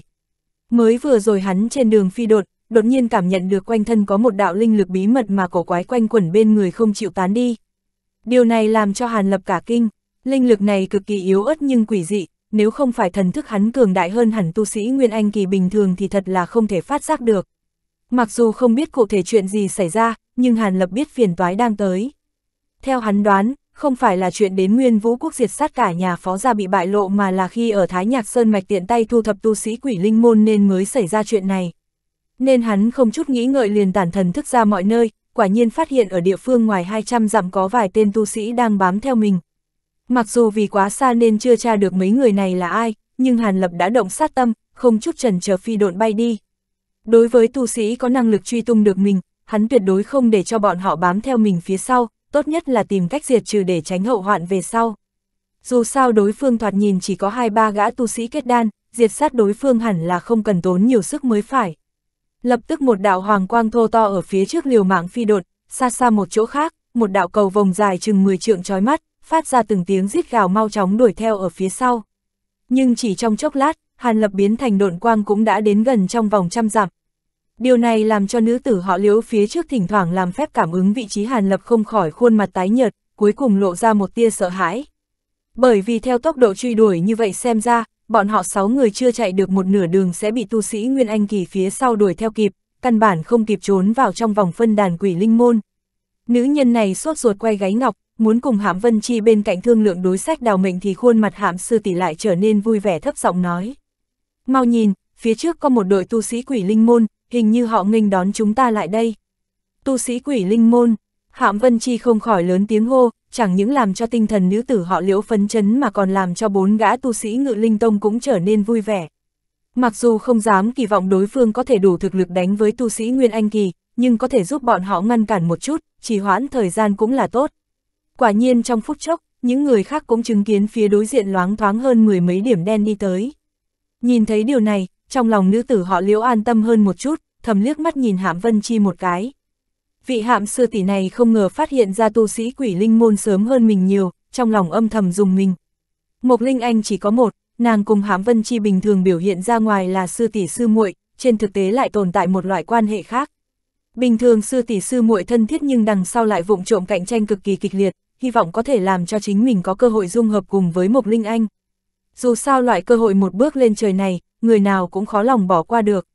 Lúc này sáu người điều khiển hoàng quang trong nháy mắt đến trước mặt đội tu sĩ quỷ linh môn, sau đó linh khí tản đi, sáu người thu liếm quang hoa, một lần nữa tách ra hiển lộ từng người một. Mà đám tu sĩ quỷ linh môn cũng này sớm phát hiện mấy người ngự linh tông, mặc dù không lập tức làm ra cử động gì bất thiện, nhưng lập tức tản ra, làm ra tư thế để phòng. Ồ, không phải là ngự linh tông hạm sư muội cùng liễu sư muội sao? Hai vị sư muội lại đến Việt Quốc, thật đúng là khách quý. Một thanh âm có chút ngoài ý muốn truyền đến, trong đội tu sĩ quỷ linh môn hắc y này đi ra ba gã tu sĩ kết đan kỳ, trong đó có hai nam một nữ. chương 662, Văn Phong Nhi Đào. Ba người này, một gã khuôn mặt trầm ổn, thân mặc áo đen, một gã cầm y cầm bào, ánh mắt lỗ máng, cuối cùng còn lại là một phụ nhân khoảng 30 tuổi trông còn khá hấp dẫn. Hóa ra là địa tuân sư huynh, môn hạ của toái hồn tiền bối. Thật đúng là may mắn nữ tử họ liễu vừa thấy ba gã đệ tử môn hạ toái hồn chân nhân này, lập tức thản nhiên cười nói. Nhưng ba người tu sĩ áo đen đối diện nghe lời này lại lạnh lùng nhìn các nàng vài lần, sắc mặt có chút âm trầm. Trong đó phụ nhân nọ mặt lại càng mang vẻ bất thiện hỏi. May mắn, hai vị sư muội ngữ linh tông, vì sao không đợi tại nguyên vũ quốc mà phải trộm tiến vào Việt quốc? Chẳng lẽ khinh thị quỷ linh môn chúng ta như vậy ư? Lâm sư tỷ có chút hiểu lầm rồi, ta cùng hạm sư tỷ lần này đến Việt quốc là phụng mệnh gia sư. Cũng bởi vì chuyện khẩn cấp, không được chậm trễ cho nên không kịp thông chi với quý môn. Hơn nữa chúng ta ở Việt Quốc cũng chỉ chờ đợi mấy ngày rồi lại rời đi, tuyệt không có ý khinh mạn quý môn nữ tử họ liễu khẽ cười một tiếng, giải thích. Mặc kệ hai vị sư muội vì sao phải đến Việt Quốc, tuần mỗ cũng không muốn đa sự. Ta bây giờ chỉ muốn hỏi một câu, hai vị vài ngày trước có đi qua Thái Nhạc Sơn Mạch, lấy vật gì ở đấy không? Tu sĩ áo đen này hai mắt chằm chằm nhìn nữ tử họ liễu, lạnh lùng hỏi. Thái Nhạc Sơn, tuân sư huynh nói chính là Hoàng Phong Cốc, một trong Việt quốc thất phái ngày xưa trong Thái Nhạc Sơn Mạch. Hạm Vân Chi nhướng mày, vẻ mặt mang một tia cổ quái hỏi. Như thế nào, hai vị sư muội thật sự đã đi qua nơi này tu sĩ họ tuân bất động thanh sắc nhưng trong mắt lại hiện lên nét hàn quang. Nghe lời này, thần sắc cầm y thư sinh cùng phụ nhân bên cạnh đồng thời lộ vẻ căng thẳng, trên mặt lộ ra một chút địch ý. Hạm Vân Chi cùng nữ tử họ liễu thấy cảnh này, hai người theo bản năng liếc nhìn nhau. Hai người cũng không phải là người ngu xuẩn, cũng nghe ra trong lời đối phương vài phần bất thiện. Chẳng qua, đoàn người các nàng căn bản không đi qua Thái Nhạc Sơn, chỉ vì dụng công pháp dò xét vị trí Linh Anh từ xa nên biết cấm chế Linh Anh tu sĩ nọ dường như có dừng lại tại Thái Nhạc Sơn nọ hơn nửa ngày. Vì vậy nữ tử họ liễu sau khi đảo mắt, khóe hạnh hé mở dò xét. Thái Nhạc Sơn thì tỉ muội chúng ta thực không có đi qua. Nhưng chúng ta dò xét được ở khoảng cách ngoài trăm dặm có một gã tu sĩ có lưu tại Thái Nhạc Sơn, thời gian cũng không sai biệt lắm so với thời gian sư huynh nói. Tuân sư huynh chẳng lẽ lại tìm người này, cách xa hơn trăm dặm ư, Liễu sư muội không phải là đang ăn nói bừa bãi sao? Các ngươi như làm thế nào mà biết đối phương có dừng lại tại Thái Nhạc Sơn? Chẳng lẽ cũng là tu sĩ của Quý Tông? Hai mắt nho sinh cẩm y không kiêng nể gì lưu chuyển vài vòng nhìn chỗ nổi bật trên người hai nàng rồi đột nhiên cười hì hì nói. Khuyết sư huynh nói dẫn rồi, hai người ta đang ở Việt Quốc sao dám lừa gạt mấy vị sư huynh. Không tin thì sư muội có thể chỉ trời phát ra lời thề. Mà sư huynh cứ hỏi là biết ngay thật giả, người nọ quả thật chúng ta không nhận ra, về phần vì sao lại biết việc này thì nói ra có chút phức tạp. Bây giờ tiểu muội đang có việc gấp phải đi ngay, ngày khác sẽ cẩn thận giải thích cho sư huynh được không?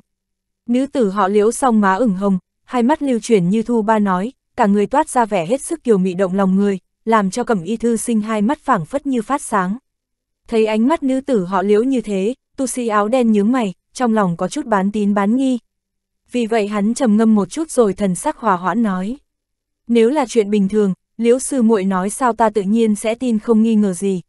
Nhưng lúc này đây, sáu sư đệ chúng ta cùng một số môn nhân tại Thái Nhạc Sơn mạch ngộ hại, ngay cả hài cốt cũng không có lưu lại chút nào, làm cho gia sư cực kỳ giận dữ. Mà ta tra qua tu sĩ cao giai gần đây tiến vào Việt quốc hình như cũng chỉ có đoàn người của sư muội có hành tung vô cùng quỷ dị. Nếu liễu sư muội nhận thức được từ xa người từng dừng chân tại Thái Nhạc Sơn, không bằng chúng ta cùng đối chất một phen. Tại hạ thực muốn xem một chút người nọ là thần thánh phương nào, nếu người này thật sự đã sát hại sáu sư đệ, tuần mỗ nhất định sau đó trọng tạ hai vị. Tu sĩ áo đen bất động thanh sắc nói, rồi nhìn đoàn người ngữ linh tông chằm chằm. Đối chất, nữ tử họ liễu ngẩn ra sau đó lộ ra vẻ khó khăn. Như thế nào, hai vị sư muội có việc ấy cũng không chịu giúp sao? Tu sĩ áo đen nhìn như hời hợt vừa hỏi nhưng mấy người phía sau hắn không hẹn mà cùng tiến lên vây lấy đám tu sĩ ngự linh tông, ý tứ một lời không vừa ý sẽ lập tức động thủ. Mắt thấy tình cảnh này, sắc mặt nữ tử họ liễu khẽ biến, đang muốn nói cái gì đó thì đột nhiên thần sắc cả kinh bỗng nhiên quay đầu nhìn lại. Không chỉ nữ nhân này, tất cả tu sĩ ở đây cũng cảm thấy một cổ thần thức cường đại lạnh như băng, không kiêng nể gì từ trên trời giáng xuống, vây toàn bộ đoàn người bọn họ lại. Mặc dù chưa nhìn thấy người, nhưng cái loại thần thức bất thiện lạnh thấu xương này thì bất kỳ ai cũng có thể cảm ứng được. Là tu sĩ Nguyên Anh Kỳ, người mà các người nói là lão quái vật Nguyên Anh Kỳ, là muốn gạt ta chờ chịu chết hay sao? Phụ nhân cảm nhận được thần thức đáng sợ, kinh sợ không khỏi lớn tiếng quát tháo. Hãy bớt nói sàm đi, lập tức chia nhau đào tẩu, có thể chạy được người nào tốt người ấy. Tu sĩ họ tuân mặc dù trong lòng cũng giận dữ, nhưng rất rõ ràng bây giờ căn bản không phải lúc truy cứu việc này, sau khi trầm giọng nói lập tức hóa thành một đạo ô quang dẫn đầu bỏ chạy. Người nọ không nhất định là hung thủ sát hại sáu sư đệ, chúng ta có lẽ không cần phải sợ hãi như thế cẩm y nho kinh hãi nhưng lại trần trừ nói. Hừ, sư huynh nếu muốn giao mạng nhỏ cho người khác, vậy xin thứ cho sư muội không phụng bồi. Phụ nhân không hề tức giận lạnh lạnh nhạt nói rồi hóa thành một đạo hồng quang nhằm hướng khác phá không bay đi. Nho sinh sắc mặt cực kỳ khó coi, dương mắt oán hận nhìn đám người quỷ linh môn đối diện rồi cũng dậm chân bay khỏi. Ngự linh tông thấp giai tu sĩ khác thấy cảnh này, tự nhiên cũng lập tức giải tán chạy trôi chết. Tu sĩ Nguyên Anh kỳ thực sự đáng sợ, làm cho đám tu sĩ này căn bản không dám nảy sinh chút tâm lý đối kháng nào. Đám người này thật vô dụng, chẳng những không giúp được gì, ngược lại còn làm mất thời gian chạy trốn của chúng ta nữ tử họ liễu nhíu tú nghi, phi thường tức giận thấp giọng nói. Không đúng, bây giờ tình hình tốt hơn nhiều, có những người này che chở cho chúng ta, cơ hội chạy thoát tăng lên không ít. Chúng ta cũng đành trông vào thiên mệnh thôi. Hạm Vân Chi lại có vẻ phi thường chấn định, giơ tay vỗ vào túi linh thú bên hông, lập tức một con bạch điểu to lớn xuất hiện trên không trung. Nữ tử họ liễu cùng ngự linh tông tu sĩ khác động tác cũng không chậm trễ, mỗi người một hướng trực tiếp ngự khí đào tẩu, tất cả cùng thả phi hành linh thú ra, cùng giống hạm vân chi, ngự thú mà đột. Điều giống nhau duy nhất là những người này tất cả đều một mình chạy chối chết, không có bất kỳ ai chạy về cùng một hướng vì sợ đông người dễ bị đối phương chú ý. Trong nháy mắt, nơi này không còn một bóng người. Dựa theo ý nghĩ của bọn họ, cho dù đồn tốc của tu sĩ Nguyên Anh kỳ nọ nhanh đến mấy cũng không có khả năng đuổi theo tất cả, đủ có thể làm cho đại đa số mọi người đào mệnh. Mà lúc này Hàn Lập đã đuổi tới trong vòng trăm dặm. Mới vừa rồi thần thức hắn đảo qua phía dưới đã phát hiện ra một đám tu sĩ mà đạo chạy trốn cũng cảm giác ngạc nhiên. Nhưng sau khi thấy hai đám người không ngờ tứ tán thoát đi, hắn không khỏi nhướng mày, cảm giác có chút khó giải quyết. Trên mặt hiện lên một tia nghiêm trọng, Hàn Lập hít sâu một hơi, phía sau người vang lên tiếng lôi minh, hiện ra đôi cánh bạch ngân lơ lửng trên không. Ích tà thần lôi trong cơ thể nhẹ nhàng rót vào phong lôi xí. Hàn Lập trong nháy mắt biến mất, sau một khắc, thân hình đã hiện ra ở địa phương cách đó vài dặm. Tiếp tục thi triển lôi độn thần thuật như thế mấy lần, thân ảnh Hàn Lập thấp thoáng chớp động không thôi. Một lát sau, hắn đã đến địa phương mà đám tu sĩ này mới vừa chia tay. Mặt Hàn Lập không chút thay đổi, nhưng thần thức bất động thanh sắc tỏa ra cảm ứng, lập tức tìm được tất cả tu sĩ ma đạo đang chạy trối chết. Giờ phút này xa nhất là một gã đã bỏ chạy được 4-50 dặm, gần nhất là một gã, mới chỉ vừa mới thoát đi được ngoài 10 dặm. Hàn Lập cười lạnh một tiếng, rồi lập tức tập trung thần thức vào tên tu sĩ kết đan kỳ chạy xa nhất sau đó điện quang chợt lóe, biến mất. Chạy trốn ra xa nhất cũng không phải là tu sĩ họ tuân bỏ chạy đầu tiên mà là phụ nhân tầm 30 tuổi có vài phần tư sắc. Phụ nhân này không biết tu luyện công pháp cổ quái gì nên mặc dù tu vi chỉ có bộ dáng kết đan sơ kỳ nhưng giờ phút này hồng quang cháo thể, linh hỏa khiêu động, lại phảng phất như yêu linh trong ngọn lửa, cả người hóa thành một hỏa cầu to lớn, nhanh như điện chớp. Phía ngoài hỏa cầu, từng tia hào quang dài ngắn không đồng nhất từ trên người phụ nhân xuất ra, thanh quang lập lòe, mỗi một lần di chuyển, cũng làm cho phụ nhân này trong nháy mắt độn ra hơn 10 trượng, tốc độ cực nhanh, thật sự làm cho người ta sợ hãi. Mà phụ nhân này trong lòng cũng đang tự đắc ý, công pháp của nàng có lẽ khi đối địch thì so với công pháp đỉnh cấp khác thua kém không ít, nhưng tại độn thuật lại là phong hỏa chi độn cực hiếm thấy. Hơn nữa bản thân nàng tu luyện một kiện pháp bảo phong thuộc tính phiêu linh đái càng làm cho độn pháp như hổ thêm cánh. Nàng tin tưởng nếu nói về độn tốc hiện nay thì so với tu sĩ Nguyên Anh Sơ Kỳ cũng không thua kém là mấy. Nếu nói trong đám tu sĩ chạy chối chết này người nào có khả năng bình yên vô sự nhất không phải nàng thì là ai? Phụ nhân âm thầm tự nghĩ ngợi thì trong tai đột nhiên nghe được thanh âm ầm ù ù, mặc dù thanh âm này không lớn, hơn nữa khoảng cách có vẻ rất xa nhưng làm cho phụ nhân ngây người, không khỏi từ trong đám hồng quang quay đầu lại nhìn. chương 663, tung hoành phi Mỹ, lọt vào trong tầm mắt là khoảng không vô tận, ngay cả một bóng quỷ ảnh cũng không có. Nhưng tiếng gầm rú trầm thấp nọ lại càng phát ra vang dội, dường như trong tích tắc đã đến bên cạnh. Trong nháy mắt, khuôn mặt phụ nhân trở nên tái nhợt, kinh hãi luống cuống nhìn khắp xung quanh, nhưng sau đó đột nhiên nhớ tới cái gì, quay người lại, lấy tốc độ so với mới vừa rồi còn nhanh hơn ba phần, vội vàng phá không bay đi. Nhưng lúc này đã là chậm trễ, mới vừa rồi phía xa xa không có một bóng người nay bỗng nhiên xuất hiện một điểm ngân quang chấp động, lúc rõ lúc không, chờ ngân quang lần nữa phát sáng thì không ngờ đã đến cách chỉ có trăm trượng. Bên trong mơ hồ có một bóng người trên lưng có hai cánh, đúng là Hàn Lập đang đuổi theo. Hàn Lập nhìn phụ nhân đang bay trong hồng quang, độn tốc cực nhanh cũng cảm thấy một tia ngoài ý muốn.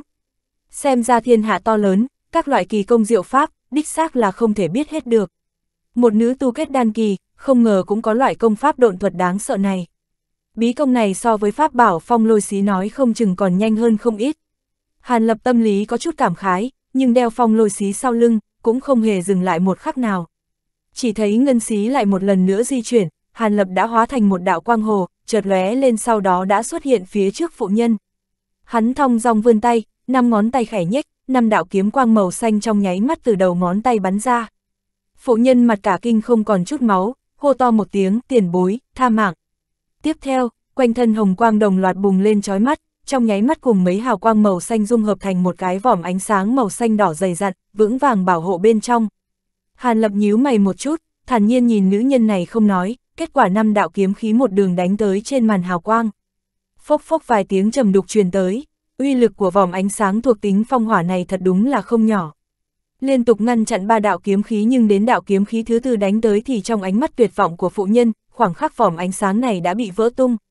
Phụ nhân này căn bản không kịp thi triển thủ đoạn khác, sau khi bị hai đạo kiếm khí xuyên thủng nơi yếu hại mà chết.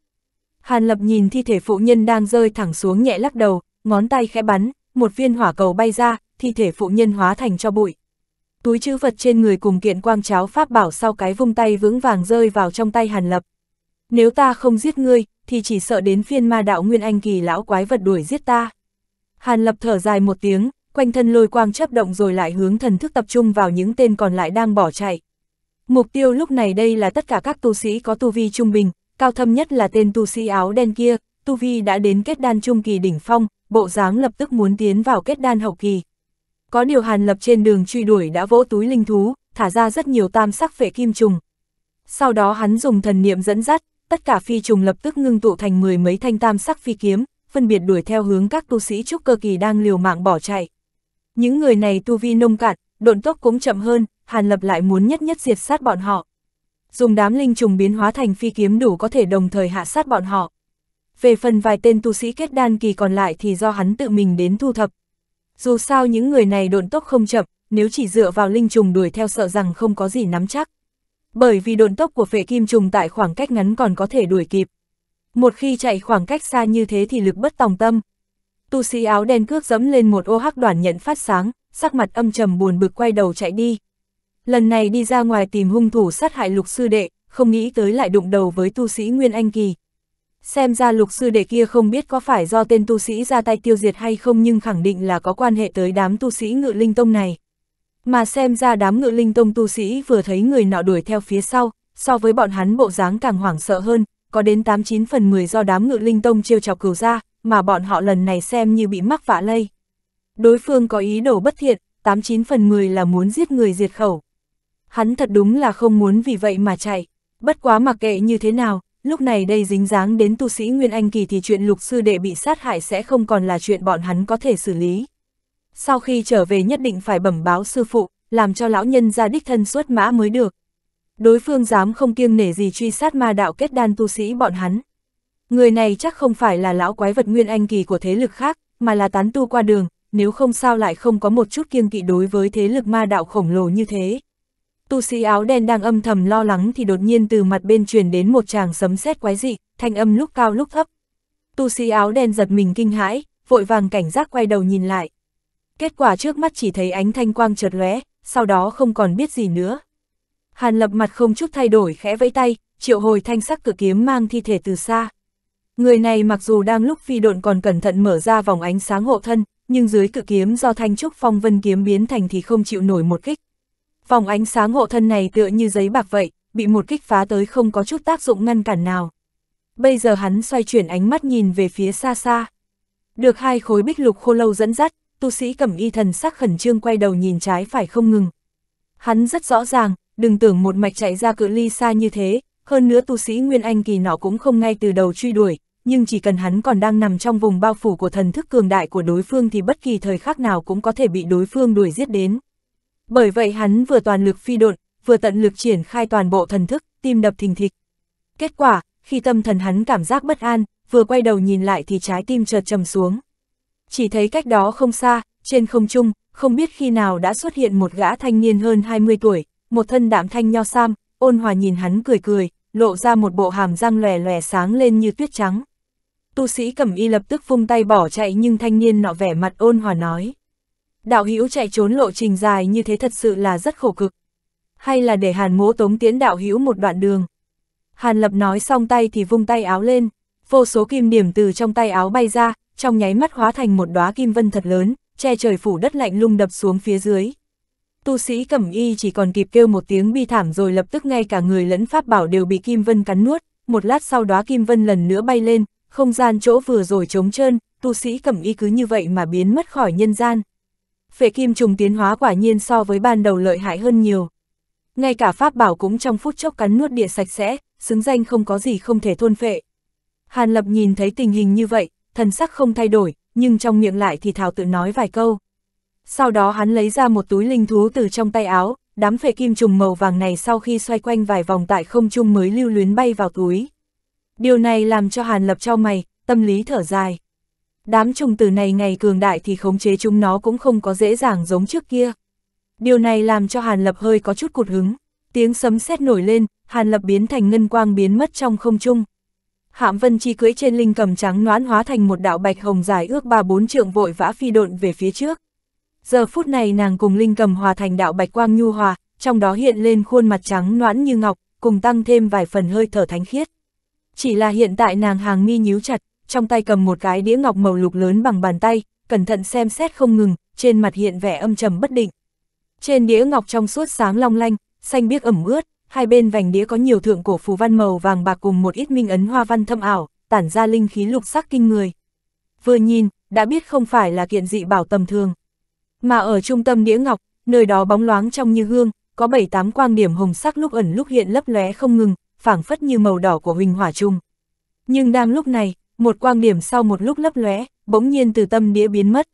Hạm Vân Chi thấy cảnh này, cắn làn môi đỏ mỏng, trên mặt hiện ra một tia yêu sắc, rồi ngưng thần nhìn chăm chú bảo vật trong tay, mắt không chấp một cái. Nhưng một lát sau, lại có thêm hai điểm hồng cũng chợt hiện một chút sau đó cũng từ mặt đĩa ngọc biến mất.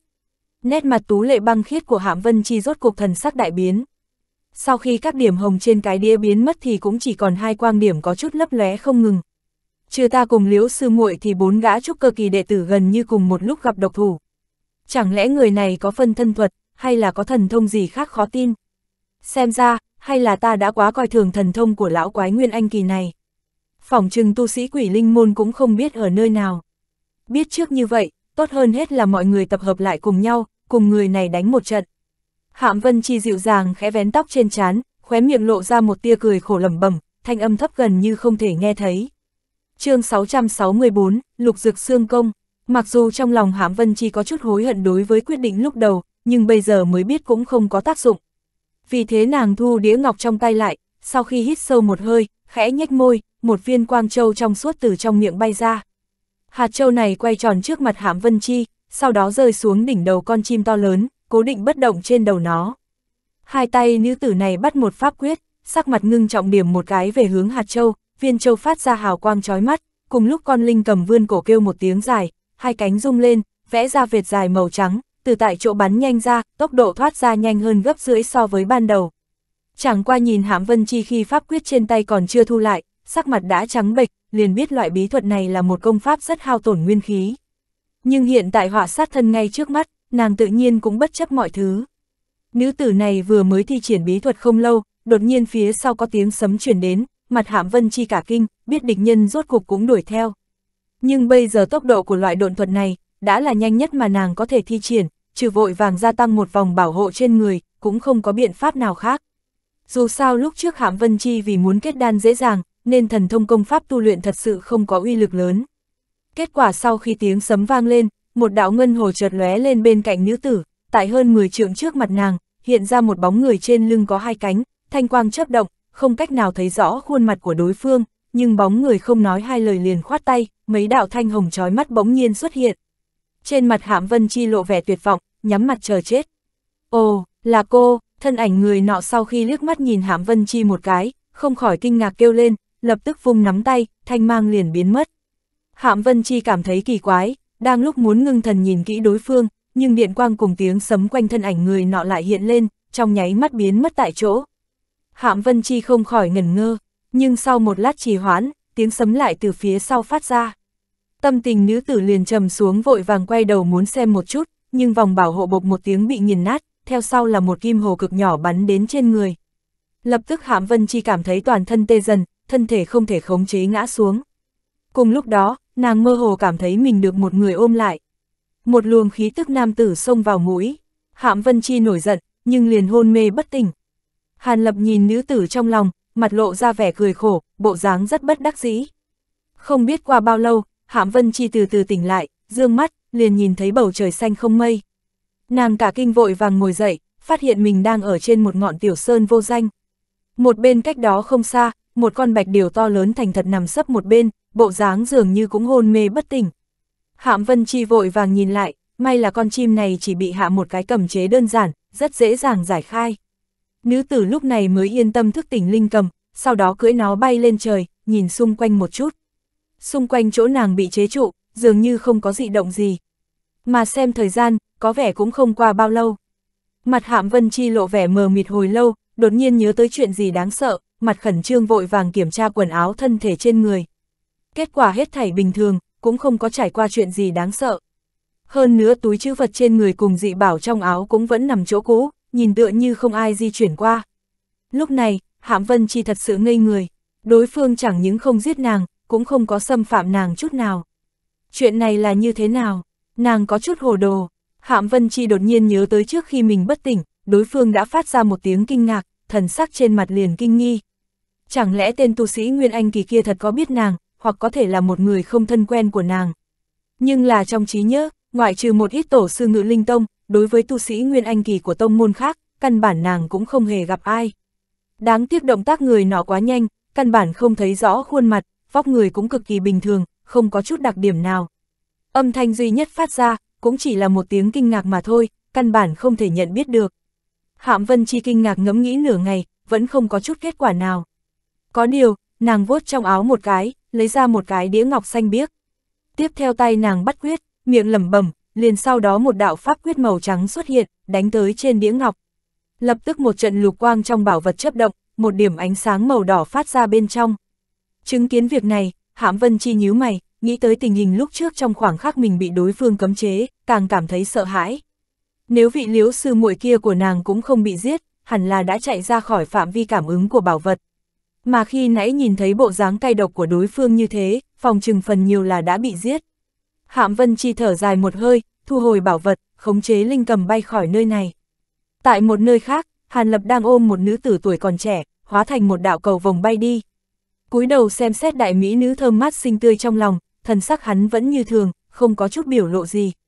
Cách đó không lâu, sau khi hắn đánh ngất Hạm Vân Chi, liền lập tức đổi phương hướng, đuổi theo một vị nữ tu ngự linh tông khác. Kết quả khi đối phương vừa thấy Hàn Lập đuổi theo, Hoa Dung liền thất sắc, thả ra một đám phi thiên ngô công lớn khoảng một thước. Con rết này không giống những con bình thường khác, toàn thân phát ánh sáng màu đen, lưng mọc ra hai cánh màu trắng, lúc bay ra từ túi linh thú liền phun ra băng xương màu trắng, hung ác dị thường. Hàn Lập thấy vậy đầu tiên là cả kinh, tiếp theo trong lòng lại mừng rỡ. Đám rết hung ác này nếu không nhìn lầm, chính là kỳ trùng lục dực xương công xếp hạng thứ 18 trên bảng.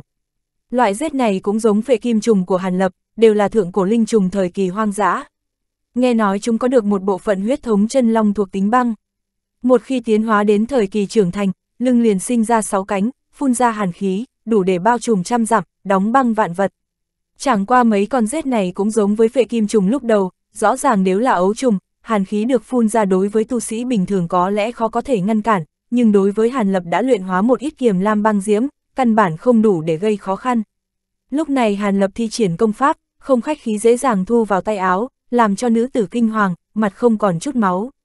Nhân cơ hội này, hắn lôi độn một cái, khống chế nữ tử này, làm cho hôn mê đi. Mất đi thần thức khống chế, mấy con rết đang bay liền tự động bay trở về trong túi linh thú. Hàn Lập nhìn nữ tử xinh đẹp trong tay, thần sắc trần trừ. Giết chết nữ tử này chỉ là chuyện nhấc tay, nhưng nếu vậy, lục dục xương công sẽ không thể lấy được. Bởi vì hễ là tu sĩ sử dụng linh trùng, vì sợ sau khi bị bỏ mình ngoài ý muốn, linh vật liền bị cửu gia lấy được, nên đều hạ cấm chế nhận chủ, sau đó lại hạ cấm chế tự bảo. Một khi chủ nhân ngoài ý muốn mà chết, nguyên thần tiêu tan, linh trùng cũng sẽ tự bảo theo. Đương nhiên nếu tu sĩ tự giác biết đại hạn đã đến, hoặc là muốn truyền linh trùng lại cho môn đồ, tự nhiên sẽ loại bỏ cấm chế này. Phệ kim trùng của Hàn Lập cũng là được bỏ loại cấm chế này. Hàn Lập muốn có được đám trứng rết này, hiển nhiên không thể nhẫn tâm xuống tay hủy hoa. Hơn nữa, Hàn Lập cũng có một ít tư tâm đối với bí thuật khống trùng của ngự linh tông. Dù sao ngự linh tông vốn là lấy việc sử dụng linh trùng linh thú mà nổi tiếng cả thiên nam, đối với khống trùng đạo khẳng định có rất nhiều chỗ độc đáo. Phệ kim trùng của hắn cũng rất cần cấm chế bí thuật để tăng mạnh khống chế.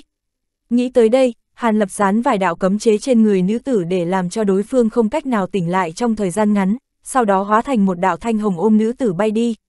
Về phần Hạm Vân Chi, việc này làm cho hắn nhớ tới tiểu muội dịu dàng năm đó, nên Hàn Lập không cách nào nhẫn tâm xuống tay. Trung quy bản tính hắn không phải là một người trở mặt vô tình. Không thể làm gì khác hơn là để nữ tử này lại, không để ý tới. Dù sao Hạm Vân Chi cũng không thấy rõ khuôn mặt hắn, cho dù có trở về, phỏng chừng cũng không thể nói được gì. Mà hắn chỉ cần bay nhanh về khê quốc, cho dù cuối cùng chuyện bị bại lộ, ngự linh tông cùng quỷ linh môn sao có thể bắt được hắn. Dù sao thiên đạo minh cùng ma đạo là quan hệ đối địch. Vài năm trước, thiên sát tông tông chủ tự mình ra tay đại náo tại thánh địa Vân Mộng Sơn của ba phái, cũng làm cho ba phái phải ngậm bồ hòn. Đối với người không may bị đối phương vây khốn hoặc bắt sống, hai thế lực lớn cũng chỉ có thể qua lại cười cười, kiêng kỵ nhau mà thôi. Điểm này, trong lòng Hàn Lập cũng biết rõ ràng. Kế tiếp, hắn liền liên tục bay trở về không ngừng một khắc, không muốn bị chặn lại ở trong phạm vi thế lực của mấy lão quái vật nguyên anh kỳ của ma đạo. Nghĩ như vậy, bất giác Hàn Lập liền độn quang nhanh hơn chương 665, Ngũ Hành Linh Anh, thời điểm mấy tên tu sĩ kết đan quỷ linh môn bị tiêu diệt toàn bộ, đại môn của phòng bế quan tại Yểm Nguyệt Tông một lần nữa được mở ra, tu sĩ áo bảo trơn mặt trầm như nước đi tới. Vài tên đệ tử đắc lực của hắn đồng thời bị giết, điều này làm cho lão ma Nguyên Anh Kỳ đang bế quan không thể xem như không biết. Lúc này không nói một lời thả ra mấy đạo phù truyền tin, cấp cho tất cả phân đàn quỷ linh môn tại Việt Quốc phát ra tin tức, lập tức tra rõ chuyện mấy tên đệ tử bị ngộ hại. Hắn muốn tự thân xuất mã, xem một chút rốt cục là ai phía sau dám hạ độc thủ đối với môn hạ của toái hồn môn. Có điều, hành động của hắn rõ ràng là chậm một bước. Không chờ ma đạo quỷ linh môn tìm tới, Hàn Lập đã bay khỏi Việt Quốc, bắt đầu đi ngang qua Nguyên Vũ Quốc. Cuối cùng vị toái hồn chân nhân này không thu hoạch được gì, chỉ đại khái biết, mấy tên đệ tử của mình bị một tên tu sĩ Nguyên Anh Kỳ không biết tên tiêu diệt. Đối phương đã rời xa Việt Quốc, khiến cho hắn nổi trận lôi đình. Mà hơn 10 ngày sau, Hãm Vân Chi cũng ủ rũ trở về Kỳ Linh Sơn tại Thiên La Quốc, quỳ trước gian thạch thất đen nhánh, nói lại chuyện đã trải qua một lần, tự mình thỉnh tội lão giả trong thất.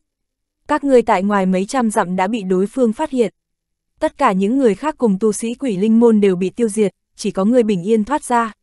Trong lời nói của lão giả mang một tia cổ quái. Không sai, sư bá. Vân Chi cùng đám người liễu sư muội chia nhau chạy chối chết, kết quả chỉ có một mình ta có thể chạy thoát. Những người khác không rõ ở nơi nào, không biết chừng còn chưa gặp phải độc thủ. Hạm Vân Chi không biết vì sao lại giấu giếm vị tu sĩ Nguyên Anh Kỳ không biết tên kia, tựa hồ vì nhận ra nàng mà thả đi, chỉ hàm hồ là nói mình chạy thoát. Người nọ nếu có thể giam cầm Mộc Linh Anh, hiển nhiên 89 phần là tu sĩ Nguyên Anh Kỳ. Nhưng có thể ở ngoài trăm dặm phát hiện hành tung của các ngươi, việc này có thể rất đáng sợ. Theo ta được biết, tu sĩ Nguyên Anh hậu kỳ cả thiên nam căn bản không có mấy người. Chẳng lẽ thật sự là một trong mấy lão bất tử này thanh âm lão giả trầm xuống, mang theo một tia kiêng kỵ. Cái này sư điệt không rõ ràng lắm, bởi vì thần thức đối phương thật sự cường đại, nên con không dám đuổi theo đối phương. Chỉ có thể từ xa cảm ứng được người này rời đi Việt Quốc, xuyên qua nguyên vũ bay về phía Bắc. Bởi vì phía trước là thế lực của tránh đạo cùng thiên đạo minh, sư điệt không dám đi theo nữa, cuối cùng cũng không biết được đối phương là người phương nào, không thể làm gì khác hơn là quay về bổn tông. Thỉnh sư bá thứ tội, người không làm sai, thì có tội gì? Nếu người nọ thật sự là tu sĩ Nguyên Anh hậu kỳ, dù là ta tự mình đến đó, cũng vô dụng như nhau. Người có thể sống sót trở về, đã không dễ dàng. Lần này cũng là do ta lo lắng không chu toàn, vốn tưởng rằng bằng vào bí thuật cảm ứng của ngươi cùng Liễu Ngọc, cũng đủ để tra rõ chi tiết đối phương, lại không hề nghĩ rằng đối phương có thể là tu sĩ Nguyên Anh hậu kỳ.